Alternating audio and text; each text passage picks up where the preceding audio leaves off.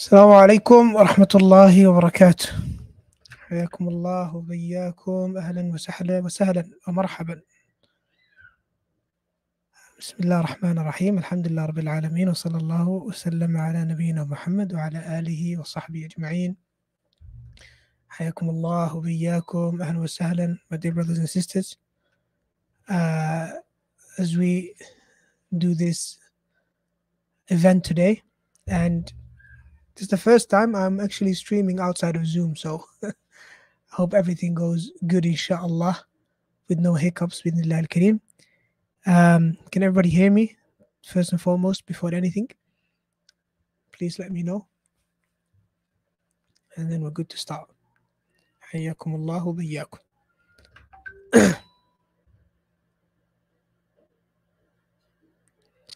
okay. Type. So I won't be able to obviously keep an eye on the comments and everything. Um, so try and keep the comment section clean, inshallah. And I have uh, one or two brothers that are moderating, inshallah. Hopefully they manage to keep up. طيب بسم الله. Okay. First thing, let me share my screen.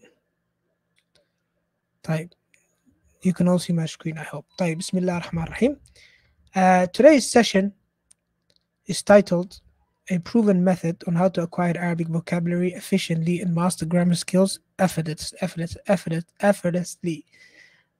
Um, the very first thing I want you to do is to uh, join me on an app called WooClap, which is an app that we use to keep you engaged and to ask questions and the likes. There is the link.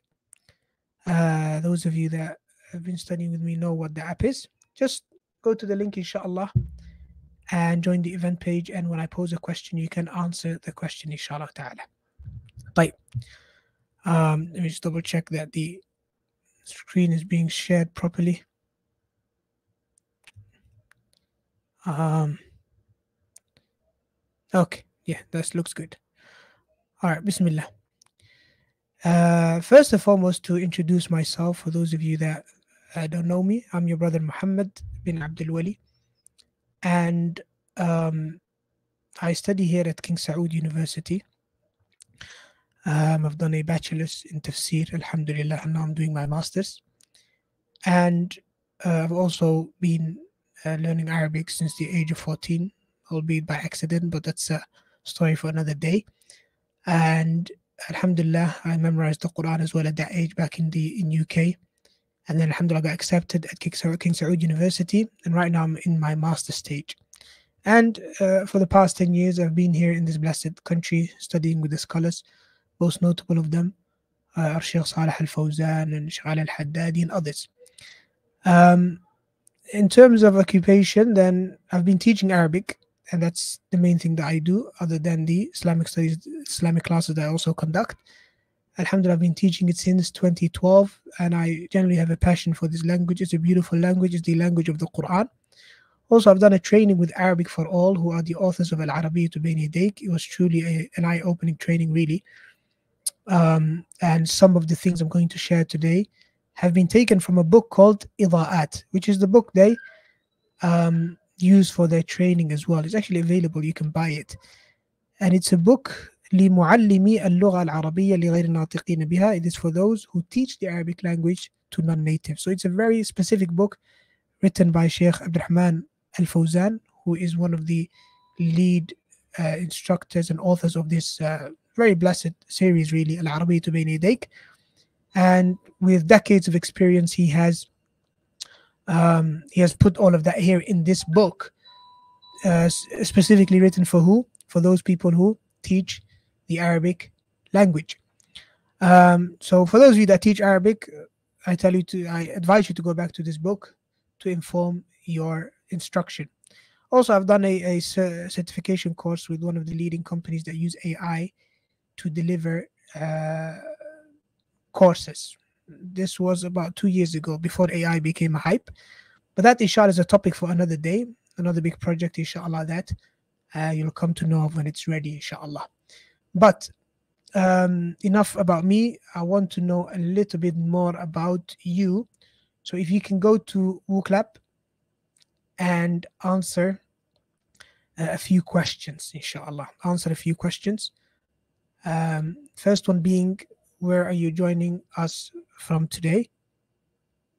Um, let me share the screen as well so that you guys can see the answers. Obviously, all of the answers that you post are anonymous, so you don't need to worry about that. Um, Bismillah.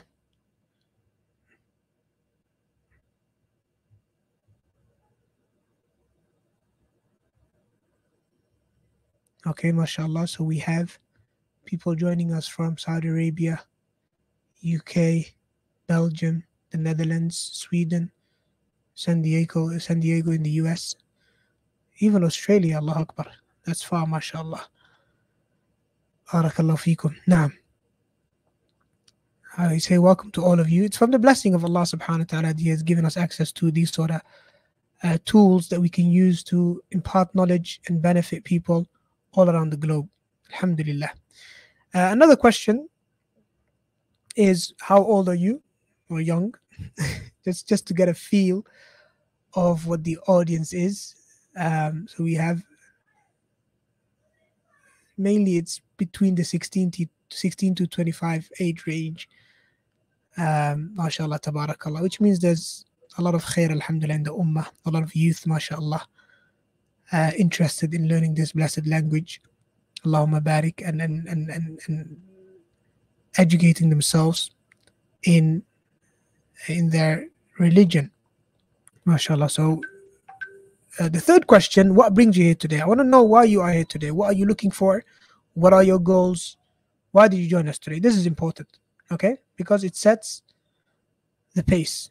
I want to be sure that um, I meet your needs, inshallah, and also want to know if today's event, uh, its goal has been communicated properly.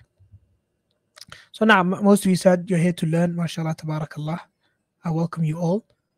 Um, learning Arabic, mashallah, Arabic studies, understanding the Quran. Alhamdulillah. Allahumma barik, ahlan wa sahlan wa marhaban.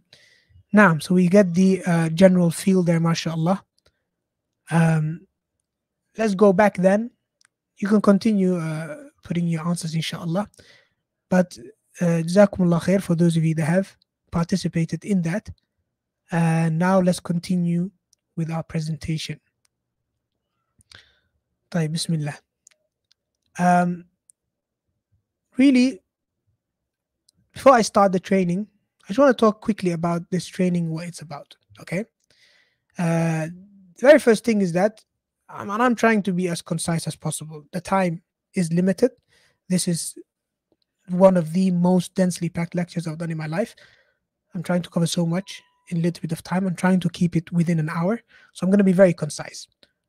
The training is basically a summary of my experience in learning and teaching Arabic. I want to give all of that to you guys today so that you can use that experience to improve uh, your journey and to get to your goals, inshallah ta'ala, much faster. Taib. Of course, I've got millions of questions coming in from the community and people. Uh, inshallah, some of the members of the team will hopefully take care of that. Uh, then we have the why. Now, this I can talk about at length, but I try to be as concise as possible. Number one, of course, the reason why I want to deliver this training is because of the importance of learning Arabic, obviously. And this doesn't come as a surprise to any of you. All of you know the importance of the Arabic language in our religion. Okay, as a matter of fact, your understanding of the Quran and Sunnah depends on it. Your guidance to an extent depends on it. So that goes without saying. Of course, I could spend some time bring all the different narrations about the ruling of learning Arabic, which Sheikh Ibn holds to be wajib, uh, obligatory, and so on and so forth. But that's not today's topic. Uh, another reason why I'm doing this training is because it's kind of in line with my goal and vision in life, uh, which I have communicated with many of you many many times uh, and also you'll find in the uh, in the flyer or the message that you got which is to help the general muslim to gain access to the quran and sunnah without relying on translators so that he can benefit directly from the scholars and uh, and so on and so forth. Now, why is this my goal and vision? Again, I'll try and be as concise as possible. Just it's an answer to these questions, which is why are there so many problems in the ummah? If we, if we literally work our way backwards, we ask ourselves, why are there so many problems in the ummah? We find that because most Muslims don't act according to the Quran and Sunnah. That is the answer to this very important question. Uh, there's no ifs, no buts. This is what it is. And many ahadith have mentioned this that Allah will not rectify our affair حتى ترجعوا إلى دينكم until we return back to our religion. Allah says واعتصموا بحبل الله جميعا ولا تفرقوا. تركت ما إن تمسكتم به. The ahadith and the ayat are many. Okay, that mention that this ummah, as long as it holds on to the Quran and Sunnah and acts upon it, things will go great. And when it doesn't, then um, things problems will arise among the ummah. So the question is, why do most Muslims fail to act according to the Quran and Sunnah? Then the question, the answer would be because most Muslims don't have, don't understand, don't have a correct understanding of the Quran and Sunnah. They don't understand it correctly, and you can't really act upon something that you don't understand. Okay, so this causes them, unfortunately, to rely on others, on false claimants of knowledge who lead them astray. Okay, uh, because they can't understand the Quran and Sunnah for themselves, and why do most Muslims understand not understand the Quran and Sunnah properly? Because they don't have direct access to those who have proper knowledge of the Quran and Sunnah, which are the scholars. Okay, that is the problem.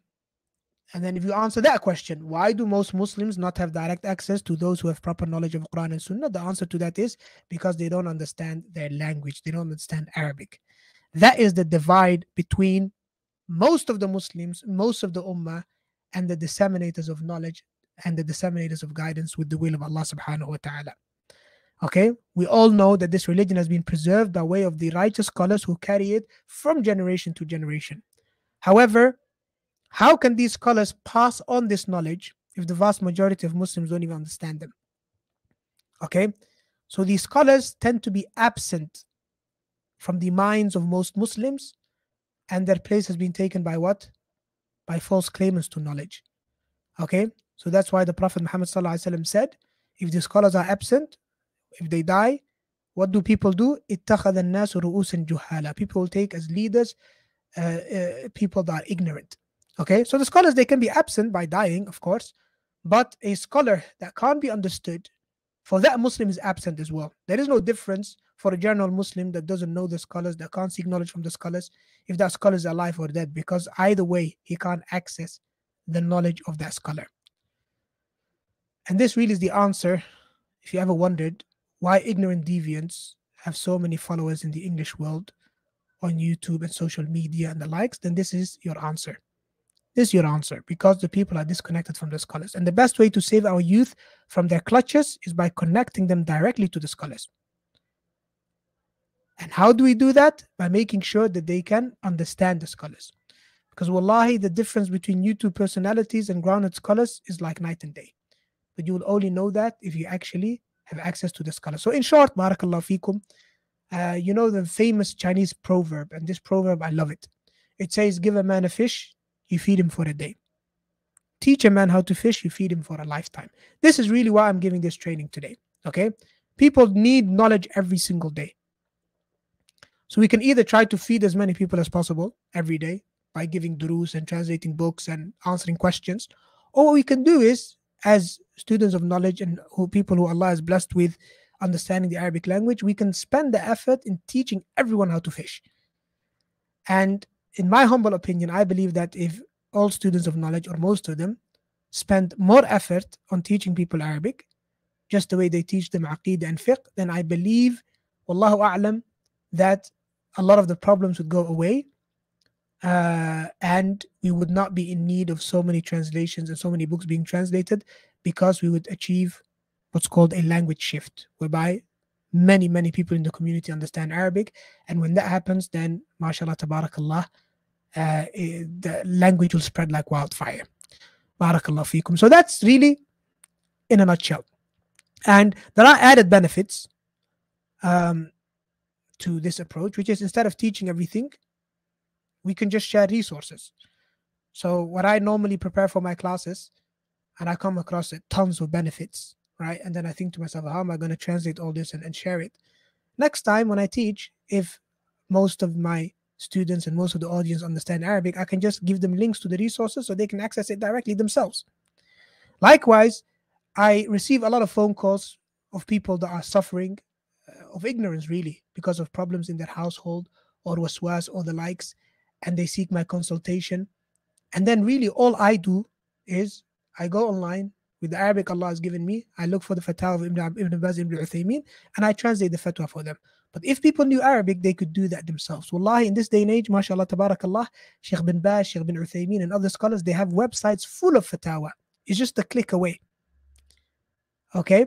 Um, so this is really why I'm doing this, barakallah fikum. Okay? Um, طيب. That's when it comes to the Arabic. Uh, teaching you Arabic. But why am I in this particular training focusing on the methodology? Proven method, how to learn vocabulary, how to learn grammar? Uh, this is because in order to be successful in seeking knowledge, you have to know the path, how to get to that knowledge. And I'm going to share with you, I want you to listen to this clip by Sheikh Abdul Salam al He's one of the most prominent scholars of this day and age uh, who lives here in Riyadh. It's a small clip, it's less than a minute. Like in Wallahi, it's golden advice. Okay? Golden advice. It's the best advice that you can get on the uh, on your path to knowledge. I'm gonna share that with you, inshallah. We'll watch it together. Barakallah fikum. And then um, I'll translate as well live, inshallah. It's a 46 minute clip. Okay? It's got subtitles already, actually. I found it. I don't know who translated it, but it's got subtitles. And I'll share the link in the community as well, inshallah. طيب بسم الله إن الإشكال أمران عدم الاستمرار وعدم معرفة الطريق الصحيح الذي يوصل إلى الهدف Okay, so the Sheikh mentioned that the problem is that it's twofold. So he, uh, he was basically asked, why is it so difficult to seek knowledge? Uh, that was basically the question. So he said the issue is with is twofold. He mentioned عدم الاستمرار, not being consistent and not knowing the path to knowledge. Wallahi, the Sheikh hit the nail on the head. Allahumma barik. Okay, let's continue listening to him. إذا وضعت رجلك على الطريق الصحيح واستمريت عليه ستصل ولو كنت أقل ذكاء. The Sheikh says that if you start on the correct path and you're consistent, you will get to your destination. Even if you're not that smart, you will get there. You just need to be what? You need to know how to get to your destination and you need to consistently progress towards your goal. Those are the only two things that you need to gain knowledge. ولو كنت أكثر شغلا مشغول ما Even if you're busy, even if you're not that smart, نمت على طريق مستقيم واستمريت عليه ولم تنقطع فستصل as long as you're on the correct path and you're consistent and you continue, you will reach. So it's a matter of when, not a matter of if. وليس للعلم طريق واحد بل لها طرق لكن ما هي الطرق الصحيحة And knowledge, the Sheikh says, doesn't just have one path. It's got multiple paths. There's different ways to gain knowledge. But what are the correct paths? هذه التي انتبه لها إذا قيدان الطريق This is the thing you need to pay attention to. The correct path to gaining knowledge. الصحيح والاستمرار على العلم Two things again. The correct path and being consistent. ثق أنك ستصل ثق ثقة عمياء على You العموم have that, the Sheikh says, have confidence. Blind confidence that you will reach your destination. طيب. Now, that is, barakallah fikum, the short version of today's lecture. طيب. This is the short version of today's lecture. Okay? This lecture is about these two things. What's the path to learning Arabic properly? Okay? And how can you gain consistency? If we answer these two questions, inshallah, by the end of today's session, alhamdulillah, today's session was a great success. طيب. So we ask Allah subhanahu wa ta'ala for tawfiq. Uh, ونقول بسم الله. Let's continue inshallah ta'ala. Let's try and answer those, those two questions. May Allah make it easy. طيب. Uh, let me share my screen again. Bismillah. Okay. So that's when it comes to methodology. There's also one other thing that you need to know, which is uh, your ability as well, uh, your capacity. It has an effect, not if you reach your end of the path, but it has an effect on how quickly you reach it. Okay. So there's also an element of learning principles involved. Okay. So uh, there's a particular book that I advise all of you to benefit from, really. It's called The Learning Brain. Okay. I've got it here actually. And I took a lot of benefits from it as well. Um, it's got a lot of uh, scientifically uh, proven benefits or things to do with uh, how to seek, how to gain, how to basically um, learn. It's all about how to learn how the brain works and these sort of things. Okay. So this as well is something that you need to pay attention to, which is that um, Allah Ta'ala has given you this organ, the brain, which is very, very complicated. And there are ways to make learning easier. Okay, so there's an excerpt from the book that mentions um, over here. Let me see if I can just make image bigger.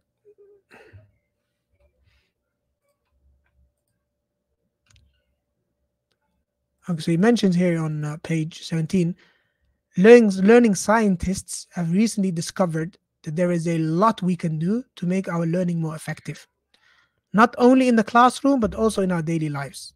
There are also ways to optimize our learning so that we increase how much we learn. So there are ways, okay? And I'll share with you, inshallah ta'ala, some of those ways today. So how is today's training going to happen? Um, basically, I'm going to give you the information, okay, on these four things.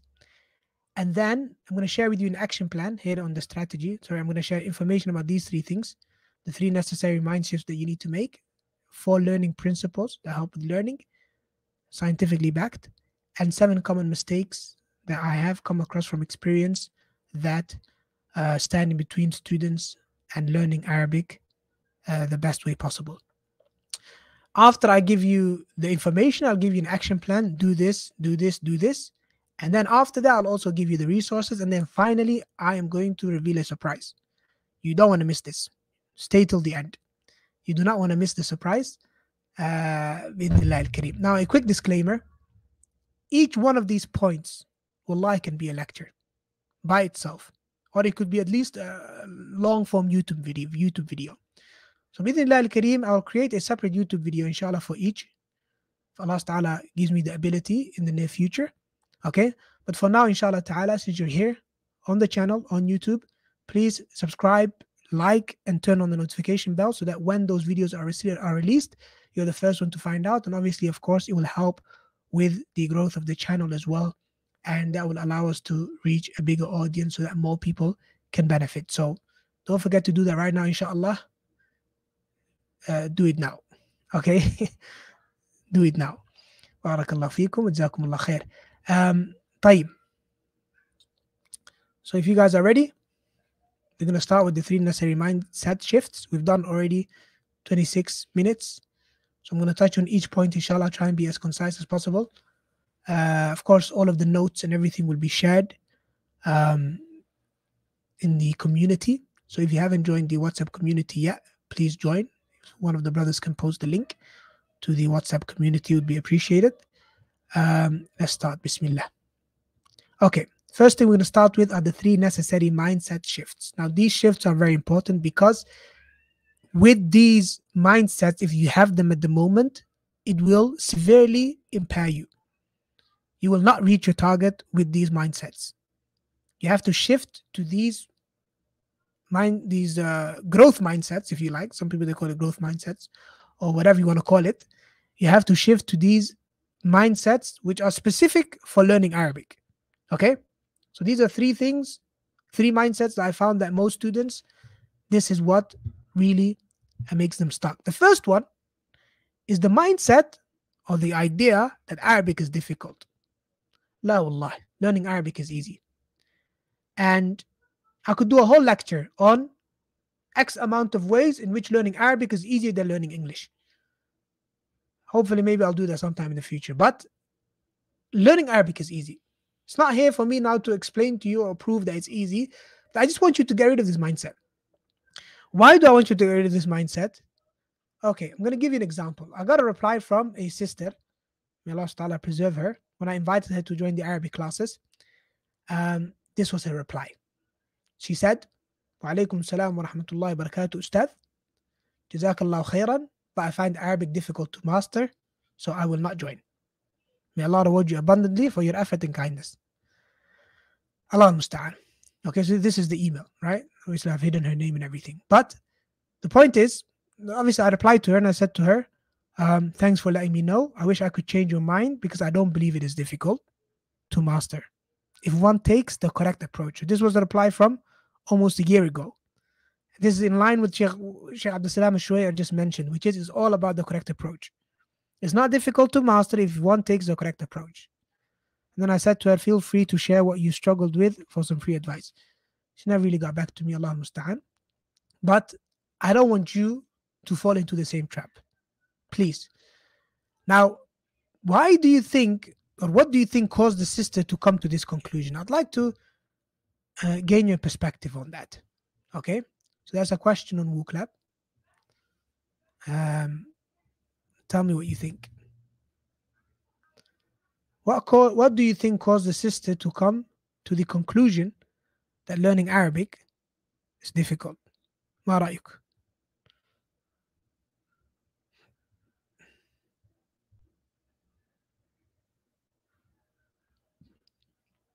Someone said perception from others because she didn't get the correct information, incorrect mindset, exaggeration of the difficulty of Arabic. Uh, I like this one. Where is it? Where is it? No, don't go away. Multiple fails. Yes, I love this answer. Multiple fails. Okay? She may be lazy. No, absolutely not. No. I don't think that's the case at all. And I'll prove to you why. I'll tell you why it wasn't because others told her all the likes. Okay? Let me share with you why. Uh, Bismillah. Sorry, I'm doing this new. I prefer Zoom, but I didn't figure out yet how to share multiple screens. So I have to go back and forth all the time. Type. Um, I'll tell you why. Number one. First thing is I we can definitely conclude that she at least tried. Okay, how else would she say? What did she say again? She said, I find Arabic difficult to master. So those of you that say that she's lazy, whatever, no. She actually tried. But I think really it is because she had a bad experience. She had a bad experience for whatever reason it may be. And this ultimately led her to giving up. So the question is how can students avoid similar bad experiences? What are the consequences of this mindset if the if the if what are the consequences if this mindset becomes widespread? Of course, if this mindset becomes widespread, Arabic language will not spread. We will not solve the problem that we mentioned earlier, which is the disconnect between the general Muslims and their scholars. All right. So we don't want this mindset to become widespread. So the question is, how can we prove that mastering Arabic is not difficult? This is basically the answer. This basically the question I'm trying to answer by way of this training and what's to follow the Arabic Accelerator program. I want to prove that mastering Arabic is not difficult, right? And I want to show students how to avoid a similar bad experience. Okay. And it starts with this Arabic is not difficult to learn. Okay. So the question is what causes people to think that Arabic is difficult?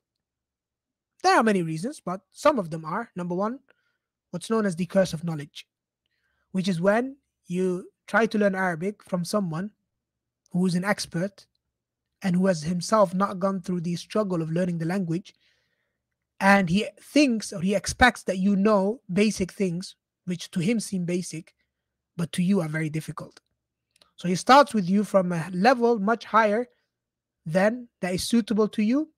Or he overlooks important points and important concepts thinking that you already know it the best example that i give is what i call the forgotten skills which is that a lot of people they start learning Arabic, but they overlook the core skills that they need to learn Arabic, which are the forgotten skills, such as being able to read the language accurately and fluently, being able to actually write the language or even type it on a keyboard, being able to actually recognize the different sounds, the difference between Ain and Hamza. Okay. Uh, and being able to pronounce the different sounds as well, such that he says qalb for heart and not kalb, which means dog. These are what I call the forgotten skills. And a lot of people that learn Arabic, they overlook these forgotten skills because they're taught by teachers, unfortunately, who are affected by this thing called the curse of knowledge, who think this is so basic, everybody should know it, that they never put any effort into making sure the students they master these core skills. And then the student right now is given assignments where he needs to type things, but it literally takes him 10 minutes to find a letter on his keyboard, right? And his handwriting is absolutely atrocious. He doesn't even want to give it a try. He doesn't even know how to write, he doesn't even know how to connect the letters. Okay. So this is one of the reasons why they find it difficult. Another reason maybe there's also widespread is teaching exceptions before establishing the rules. Again, which kind is connected to the curse of knowledge, which is that the teacher assumes that you got the rule, you've mastered the rule, so now he tells you all the exceptions, which shouldn't be done. Okay. One of the concepts that I find most astonishing, which I would never teach to a beginner, which I'm sure if you've learned any grammar, you've learned about, which is Asma'ul Khamsa. Right? Asma'ul Khamsa are five words. They have specific rules in the Arabic language. But what are five words compared to the thousands of words in the language? Now, if you want to quickly mention it, I don't mind. Asma'ul Khamsa are an exception to the rule. They're not the rule itself. The actual rule is Fatha Kasra Dhamma. But the Asma'ul Khamsa are an exception to that rule, if you know what I mean by Asma'ul Khamsa. So I wouldn't teach that to a beginner because he has not even understood yet why we put Dhamma on certain words and why we put Fatha, why we put Kasra. So why would I confuse him with Asma'ul Khamsa that an exception to the rule? And then to top it all off, some teachers, they teach you Asma'ul Khamsa and they teach you along with it the five conditions for a noun to be from Asma al Khamsa. Subhanallah. There are only five words and he wants you to remember five conditions. This is one of the examples of teaching exceptions to to stu- to beginners before even establishing the rules, which causes the beginner to be confused. He'll be like, "Wow, what a what a difficult language this is." That's another issue. Another issue that makes Arabic seem difficult when it isn't is that the student does not experience any quick wins. Okay, now students they need to see tangible real life results to maintain confidence okay? Especially at the beginning stages. And the longer it takes for them to reach a learning milestone the more likely they are to give up. What do i mean by that? I mean in their real life they need to they need to learn about words that are part of their real life so that when they go home or they speak to someone at work they can actually pick up some of the words whereby they say to themselves wow i'm actually starting to understand the language this gives them confidence right so you need to focus on the core the most important things so that they can realize quick wins. Okay. However, if you don't do that, then what's going to happen is that uh, the student is going to think that he's not progressing when in essence he is progressing, um, but you have not facilitated it. So sometimes as a teacher, you have to artificially kind of make sure you incorporate some quick wins into the student's uh, learning experience. These are some of the reasons, they're not all of the reasons. Okay. But I'm sure you've come across some of these. Now, one final question before we go on to the next one, which is what if Arabic is truly difficult for you? Can we discount that? Can we say it is not possible that Arabic is difficult for some people? No, it is possible. People are different, and perhaps you require more time and effort than others, right? But having said that, having said that, okay, this difficulty is a relative difficulty. It's relative to you. It's a bit more difficult for you than it is for others. But that doesn't mean now that learning Arabic is difficult. La, learning Arabic compared to other languages, in my opinion, it's easy. And I know that from experience. Like I told you, I learned Arabic by accident. those of you know, know. And those of you that don't, inshallah, you'll get to find out how in the future.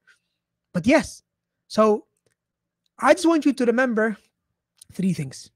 Whenever you face some difficulties along the way and you think, wow, I can't do this, I just want you to remember these three things.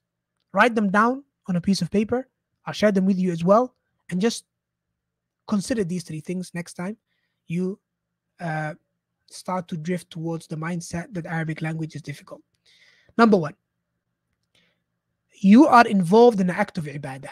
Always remember that. You're involved in an act of worship. So always maintain ikhlas and be certain that none of your efforts will go to waste.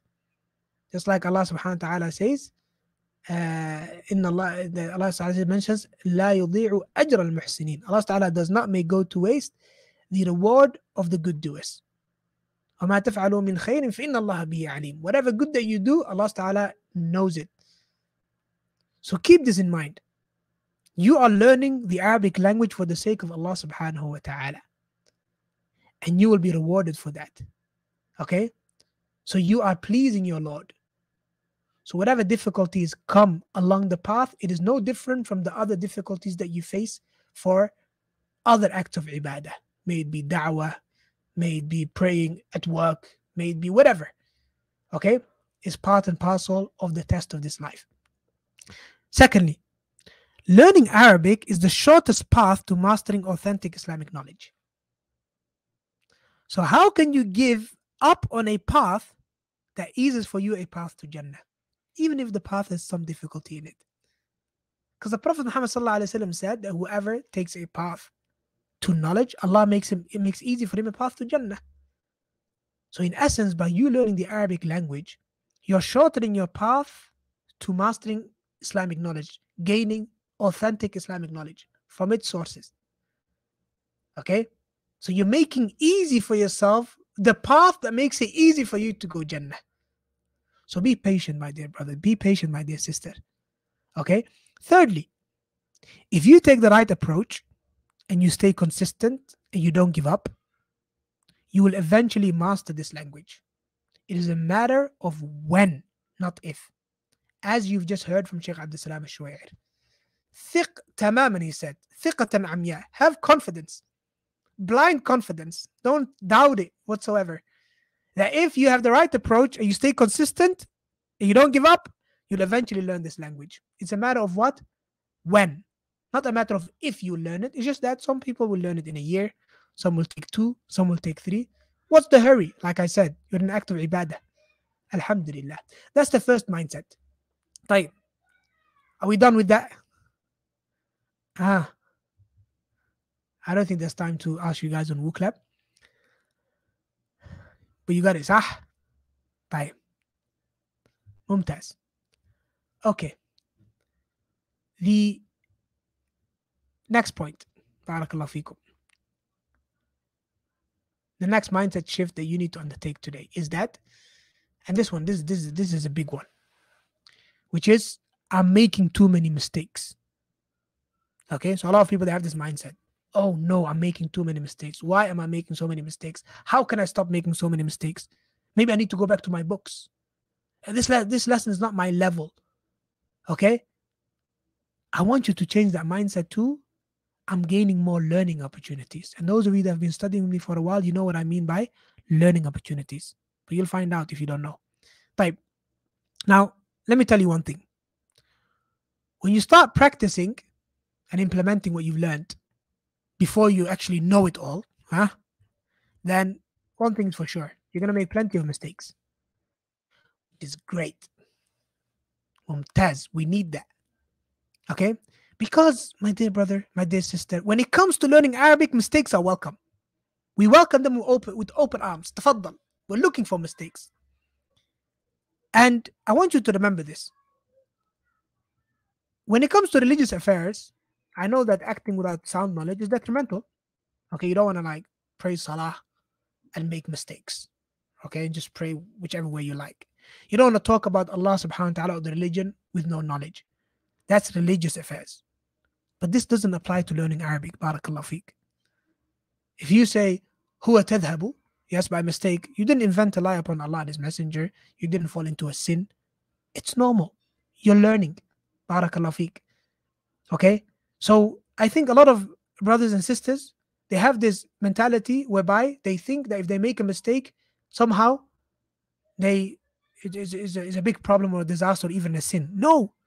When it comes to learning Arabic, that's not the case. Okay? That's one thing. Number two, you all know the famous statement that there are two types of people that never learn. Okay? Which is that? Which is the ignorant, uh, sorry, the uh, arrogant one and the shy one. Now, have you ever asked yourself why that's the case? Have you ever asked yourself why these two people, why these two types of people, they never learn? Well, they have something in common the arrogant and the shy. As much as they look, they're way different. They actually have something in common when it comes to learning, which is that both of them, they don't try. Okay, why don't they try? In other words, both of them don't make mistakes because they don't try. The arrogant one thinks to himself, I know it, what's the big deal? So he doesn't actually put himself in a situation whereby he falls into a mistake and learns from it. And the shy one, out of fear of falling into a mistake, also doesn't try. Okay? So if you are holding back from practicing and making mistakes out of fear and shyness, or because you think that it's too easy, then you will never learn. Why will you never learn? Because you will never make a mistake. And if you don't make mistakes, you won't really uh, progress. It's actually one of the ways that learning is defined. If you look at the definition of learning, some uh, scholars, scientists, uh, they define it as what? That learning is acquiring knowledge from experience. Okay, so you go through a certain experience, and if the experience is a success, then whatever you knew before that is reinforced. Okay, so you said, for example, Muhammad yadhabu, turned out that was the correct answer. You're like, yes, is reinforced. So next time you'll get it right again. If it's a mistake, however, if the experience is a failure, then it will be corrected and your brain will make the correction. Okay? But the point is this you have to have the experience. You can't learn without experience. You acquire knowledge through experience. That's how you learn. So, in other words, if you don't try, you will never learn. I'm going to share this with you. If you understand, you understand, Alhamdulillah. But, and I've seen these kind of people, don't be the guy or, or the girl for that matter who's waiting for the right time to start speaking without making mistakes, whilst expecting to get there without speaking and making mistakes. Sounds like a riddle, eh? So don't be the guy who's waiting for the right time to start speaking. So he stops, he doesn't actually speak and uh, learn, uh, implement what he learned. Um, so he's waiting. He's waiting for the right time where he can speak fluently, where he can speak accurately. He's like, I'm not ready yet. I'm not ready yet. And at the same time, he expects to reach that level without actually speaking and making mistakes. He thinks somehow the one day will come when when he opens his mouth, he's not making any mistakes. And people will say, MashaAllah, where did you learn the language? La, that doesn't exist. The path to learning something is a path full of mistakes. You don't go through those mistakes, you will never learn. And some of you might say that I know this. I understand you, Ustad. A good point. But I don't want to make a fool of myself in public. I'd rather stay ignorant. And the question is I mean, I don't agree that you look like a fool anyway. You just look like someone who is trying hard and people actually appreciate that. But nevertheless, if that's the case, then my advice to you is look for a safe place to practice. It doesn't have to be in public. When I say to you, make mistakes and learn from your mistakes, I don't mean you have to go to the street and speak to the next guy you you see on the street, or you have to uh, uh, go online. No, look for a safe place to practice. So, for example, we have workshops that we do with the uh, with the cohorts, and this one one of the students had had said in terms of uh, uh, feedback. So we asked him, asked all students feedback at the end of the cohort. This is what he had to say. Alhamdulillah, I think for me, these were the things I liked the most. We asked him, what you like the most about this cohort? He mentioned the teachers, uh, generally passionate about the course, and he said the course had a lot of practical work for you to complete. But the point is this: he said, "What? The workshops are safe spaces for you to practice without fear. This is what you need. You need a small setting with fellow students that are at your level. Yes, where making a mistake is not a big deal." where people expect you to make mistakes. And that's kind of like your staging environment. You know, the way that when you want to put out a product to the real world, you have a staging environment whereby you try different things out. You need to have something like this. Okay? Barakallah feek. So to conclude, you have to seek out these learning opportunities. You have to welcome the struggle. You need these, they're called actual desirable difficulties. That's what it's called but more on that later, inshallah. But scientists they call it desirable difficulties. Type the third mindset, and we're spending most of our time on the mindsets, by the way. The principles and the rest are easy. Because these mindsets that need a bit of time and a bit of effort to really convince you that you shouldn't see things that way. So let's cover the last mindset, inshallah. And after that, we will progress much faster, inshallah, because I can see that the time is running out. Um, the third one, oh, how many times did I hear this? I don't have enough. I don't have enough time. You have to change that mindset too. All I need is to be consistent, regardless of how much time that I have. Okay? So remember this principle. If you are consistent, you'll make it, even if it takes long. We took this from Sheikh Abdul Salam at the beginning, remember? And I said that this lecture, one of the most important objectives is to allow you to be consistent, to teach how to be consistent. Well, the first step to being consistent is knowing the importance of consistency and getting rid of these mindsets that uh, stop you from being consistent. If you are consistent, you will make it, even if it takes long. And the only way to transformation is by way of consistency.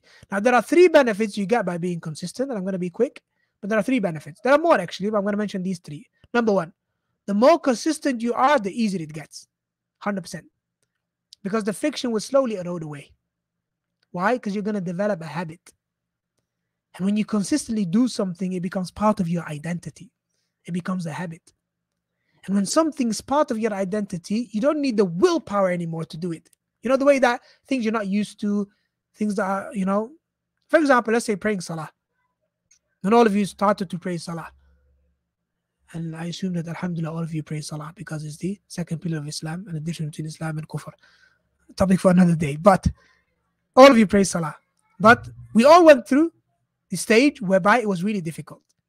Okay? But right now, okay, I trust may Allah make us from those. You are those who enjoy praying their salah. You are those who can't imagine not praying your salah. You are those who praying salah is now a habit. Okay? Where is all the difficulty now? It's gone. Because now salah has become part of your identity. You've developed a good habit. So now being consistent is not just easy, rather it's it's more difficult not to be consistent. Leaving a salah now is more difficult than actually praying salah. Alhamdulillah. So you start enjoying it. You will only get there through consistency. The second benefit is that the more consistent you are, the faster you progress. Now, so this is how it works. The more consistent you are, the better you get at what you do, which means that you progress at a faster rate. So to give you an example, when it comes to reading, initially you'll struggle, of course. You're slow, you make a lot of mistakes. But I tell you this the more consistently you read, the better you get at reading, which leads to the more material that you cover, which makes you more consistent and better, more material. You have now entered the positive feedback loop. Congratulations. The positive feedback loop. Okay. How do you get there? By being consistent. And this applies to everything reading, speaking, salah, you name it. It doesn't matter. The more you do it, the better you get at it. Memorization. Initially, when you're memorizing, it's really difficult. I mean, my personal experience, I was struggling with three lines at the beginning. But then, alhamdulillah, Allah gave me consistency. Then I was doing half a page. Then I was doing one page. Then I was doing two pages a day. Then I was memorizing three pages a day. At the end, I was doing five pages a day with less effort than when I was doing three lines a day. Memorizing five pages was actually easier. To the extent that, Alhamdulillah, the first 10 juz took me about a year, but then the last 20 juz took me like six months. I was going at a rate that is four times faster in total. Why? because of consistency. If I was not consistent, I would never have gained that ability to memorize quickly. Finally, the action, if you're consistent, then the action itself will become more beloved by Allah. So even though that action itself is already beloved by Allah because it's an act of ibadah, it will be even more beloved by Allah. Why? Because the Prophet Muhammad said, "Ahabbul a'mal ila Allah wa. That the most beloved actions to Allah are those actions that are consistent, even if they're small in number. And that's when Allah puts barakah in your endeavor. So to pray four rak'ahs, let's say of Qiyamul Layl every night, consistently is better than praying 11 rak'ahs two or three times a week. And there's more barakah in that. And Allah loves that more. So again, my dear brothers and sisters, it's not about quantity. It's not about how much time to, do I have. I need four hours a day, three hours a day to learn Arabic. No. It's about what can you be consistent with? Allahumma, may it be 30 minutes, may it be one hour, maybe two hours. The only difference that is going to make the time that you sacrifice, that you give, the only difference it's going to make is how long it will take you to get to your destination. Like I said, it will not have an effect on if you will get to your destination as long as you are what? Consistent. Type. These are the three necessary mindset shifts. Are we there? Barakallah feekum. Let me ask uh, on WooClap.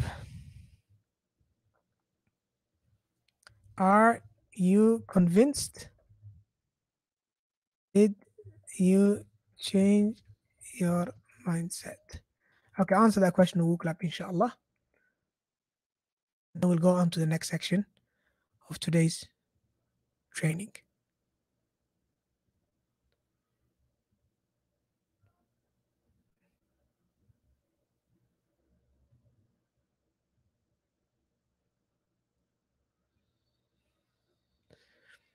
Okay. So we have Alhamdulillah, yes. Barakallah fi. Alhamdulillah, yes, 100%. Okay. Alhamdulillah. So remember these things. Yalla, remind us. Yalla. What are these three mindset shifts? From Arabic is difficult to Arabic is easy. Okay? That's one. From um what was the second one again? Ah. Yalla. Bismillah. What's the second one again, brothers? Sisters? Yalla, tell me in WooClap. I'm ready for your answers. First one, not is not difficult, it's easy. Okay? Someone said they're almost convinced. Wallahi, that's all I could do. Go back and watch the replay. Inshallah, maybe in the future. In the future, okay? All right. The second mindset is mistakes X. We don't have things called mistakes. We have what? We have something called learning opportunities. All right. Then the third one is what? It doesn't matter how much time you have, as long as you're consistent, you'll get there. طيب barakallah fikum. Okay. Still not convinced that's all I can do. I can all I can do in this session. I'll try more inshallah in the future, but uh, rewatch the replay inshallah and hopefully it will be useful to you. طيب. Going on to the next session and the next part. Like I said, four learning principles, seven common mistakes. These are easy, inshallah. I'm going to go through them quickly, touch on them. And I think most of them, most of you already know these four learning principles. And if you don't know them, like I said, inshallah, we'll do a, a, a separate video on each. So, what are these four learning principles that are scientifically proven that you should implement in your learning? Number one, a principle called the Pareto principle, also known as the 80 20 rule. Second learning principle is what? That passive learning plus active learning is how you acquire a skill. The third principle is the importance of spaced repetition. And the fourth principle is about something called interleaved practice. Okay. Let's start with the first one, the Pareto principle. The Pareto principle, also known as the 80 20 rule, is a phenom- phenomenon, or whatever, uh, phenomenon. yeah, that states that roughly 80% of outcomes come from 20% of causes.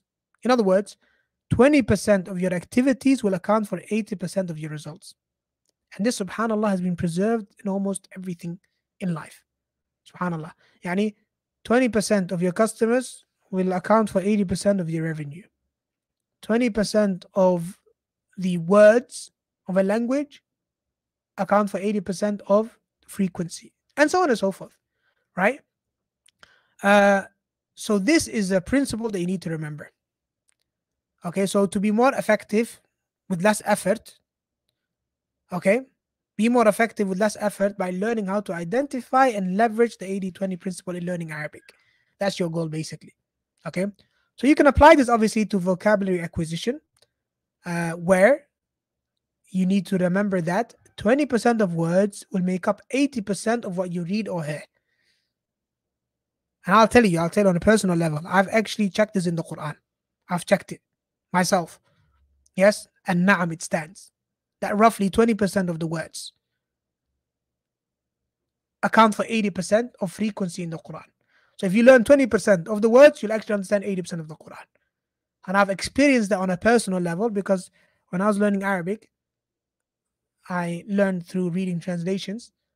And after I've done 10 juz, I found myself understanding the remaining 20, even though I've never read those surahs.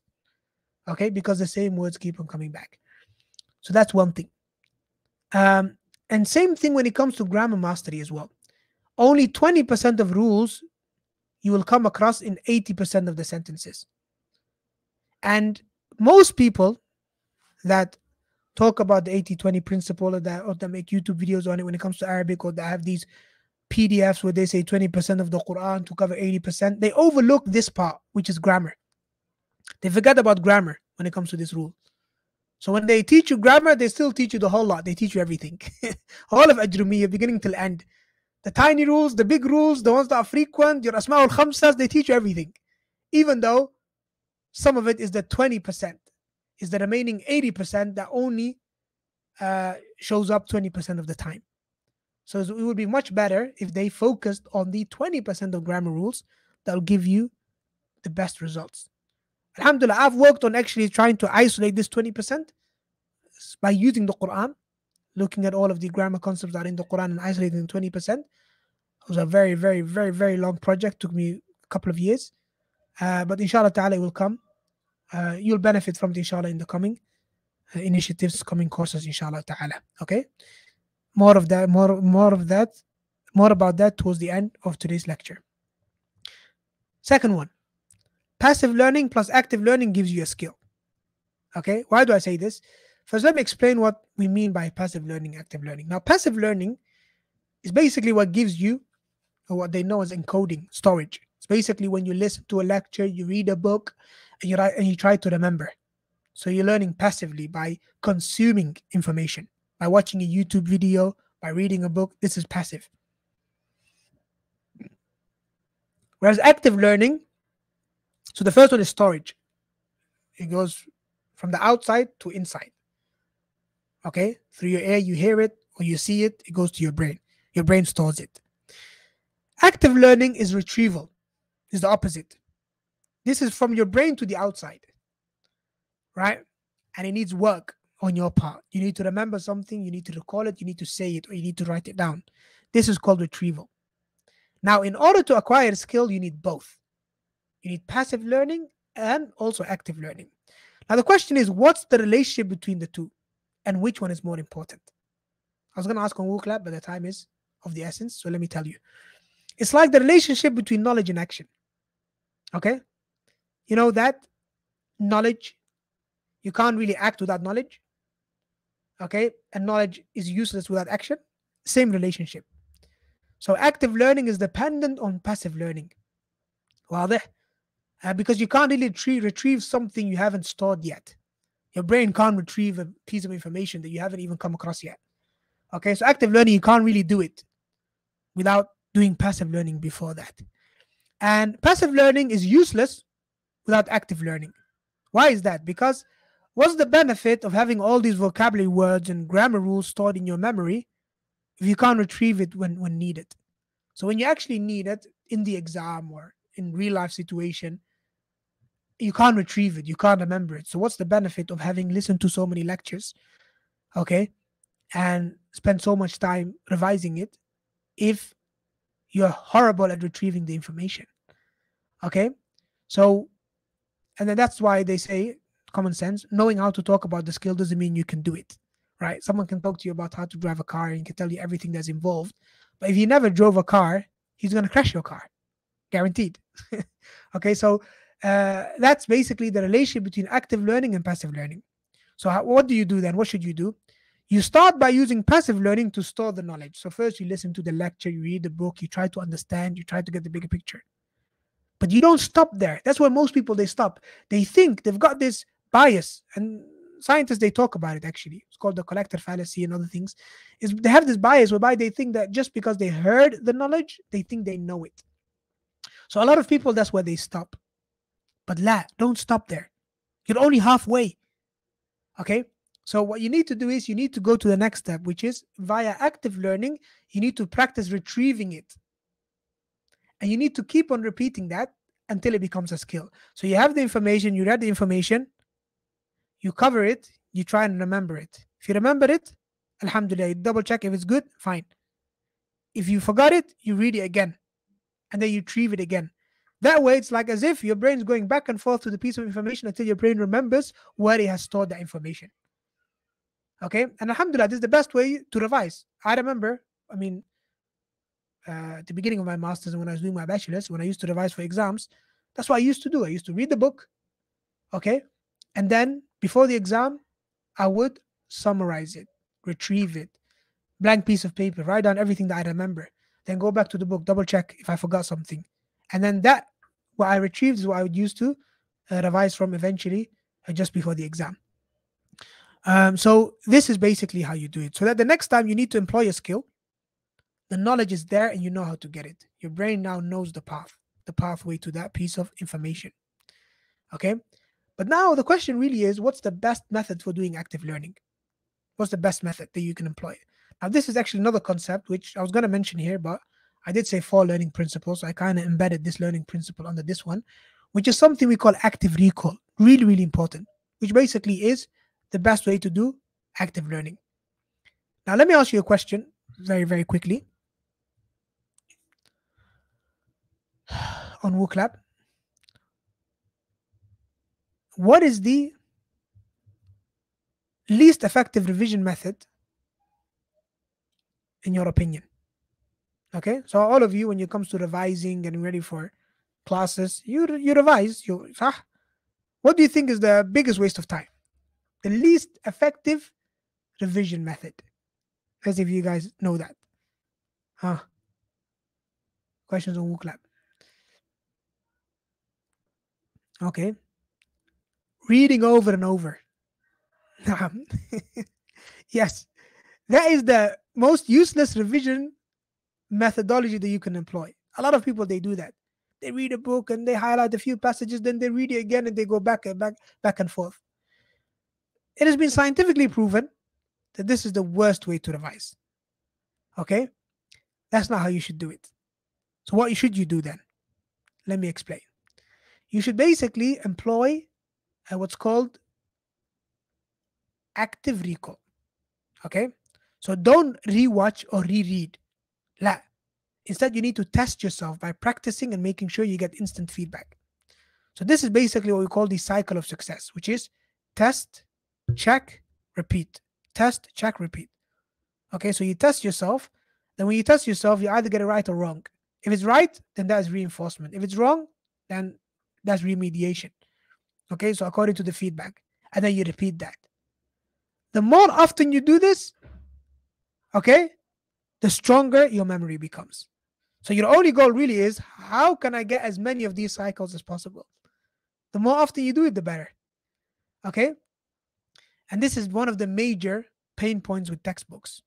Okay, because you need the question, but you also need the answer. And most of these textbooks, what do they have? They have exercises, they have questions, but there's no answer, there's no feedback. So you don't really know if you got it right, you got it wrong. Without feedback, you don't really benefit you don't you don't benefit because there's no experience here. You've answered, but it's an open loop in your mind. It harms you more than anything. Okay. Um, so that's why interactive exercises that give you immediate feedback are very, very important. And this is the main way, the best way to achieve what? Active learning. But now a question. When should we try to retrieve something that we've learned? And how often do we need to do that?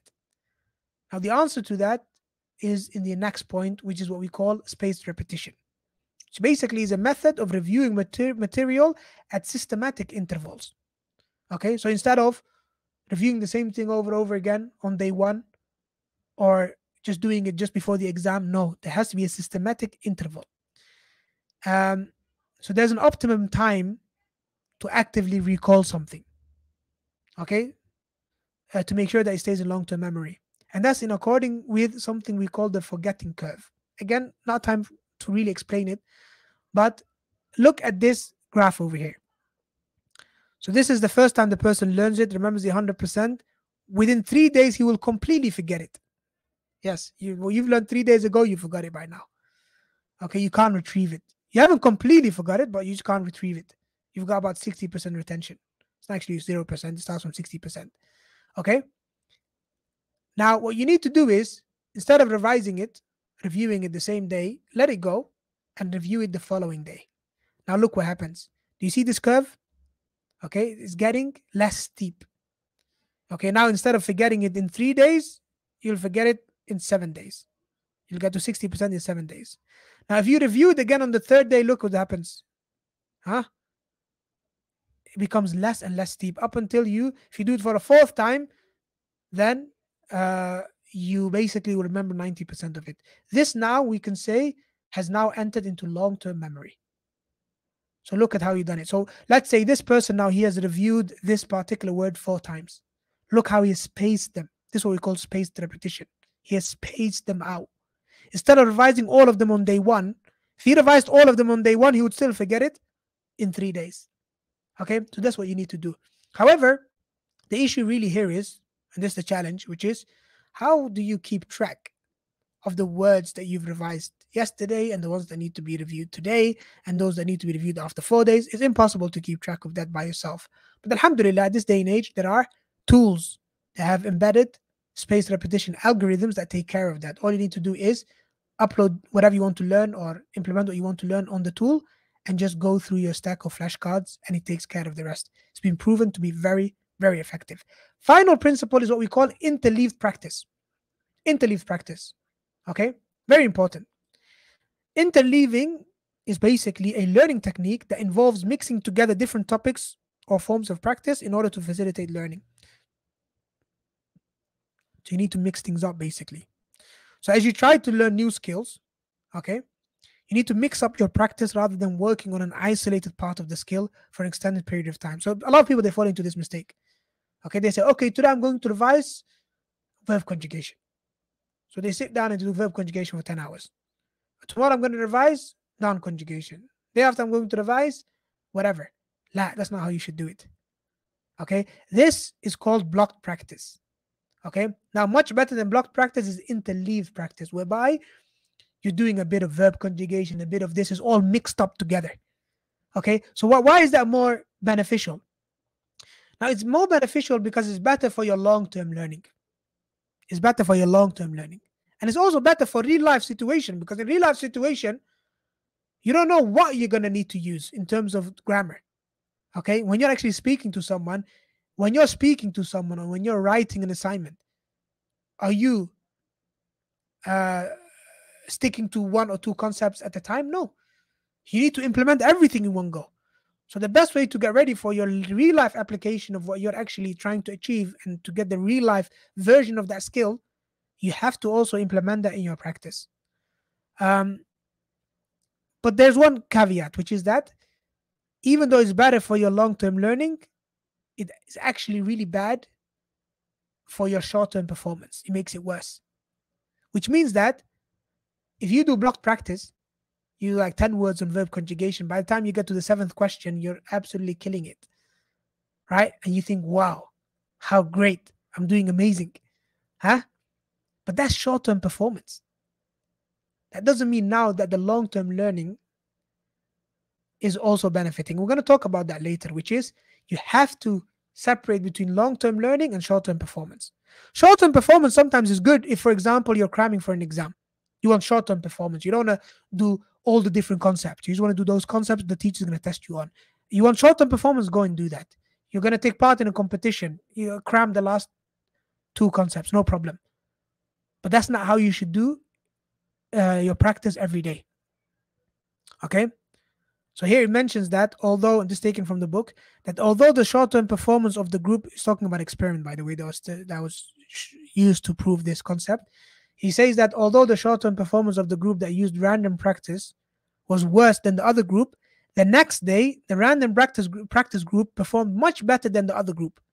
So if your goal is long-term learning rather than short-term performance, random practice is better than block practice. That's the takeaway basically. So these are four learning principles that you need to employ to the best of your ability to make sure that you make the most of your learning. Okay? Type. Now, question. Barakallahu fikum. Which is, uh, which these principles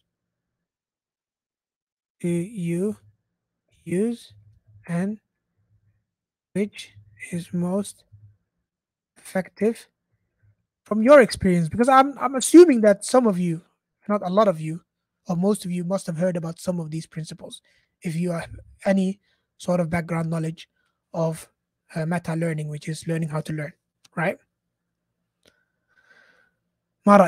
What do you guys think? Give me your feedback before we go on to the next section, which will try and be really quick, inshallah.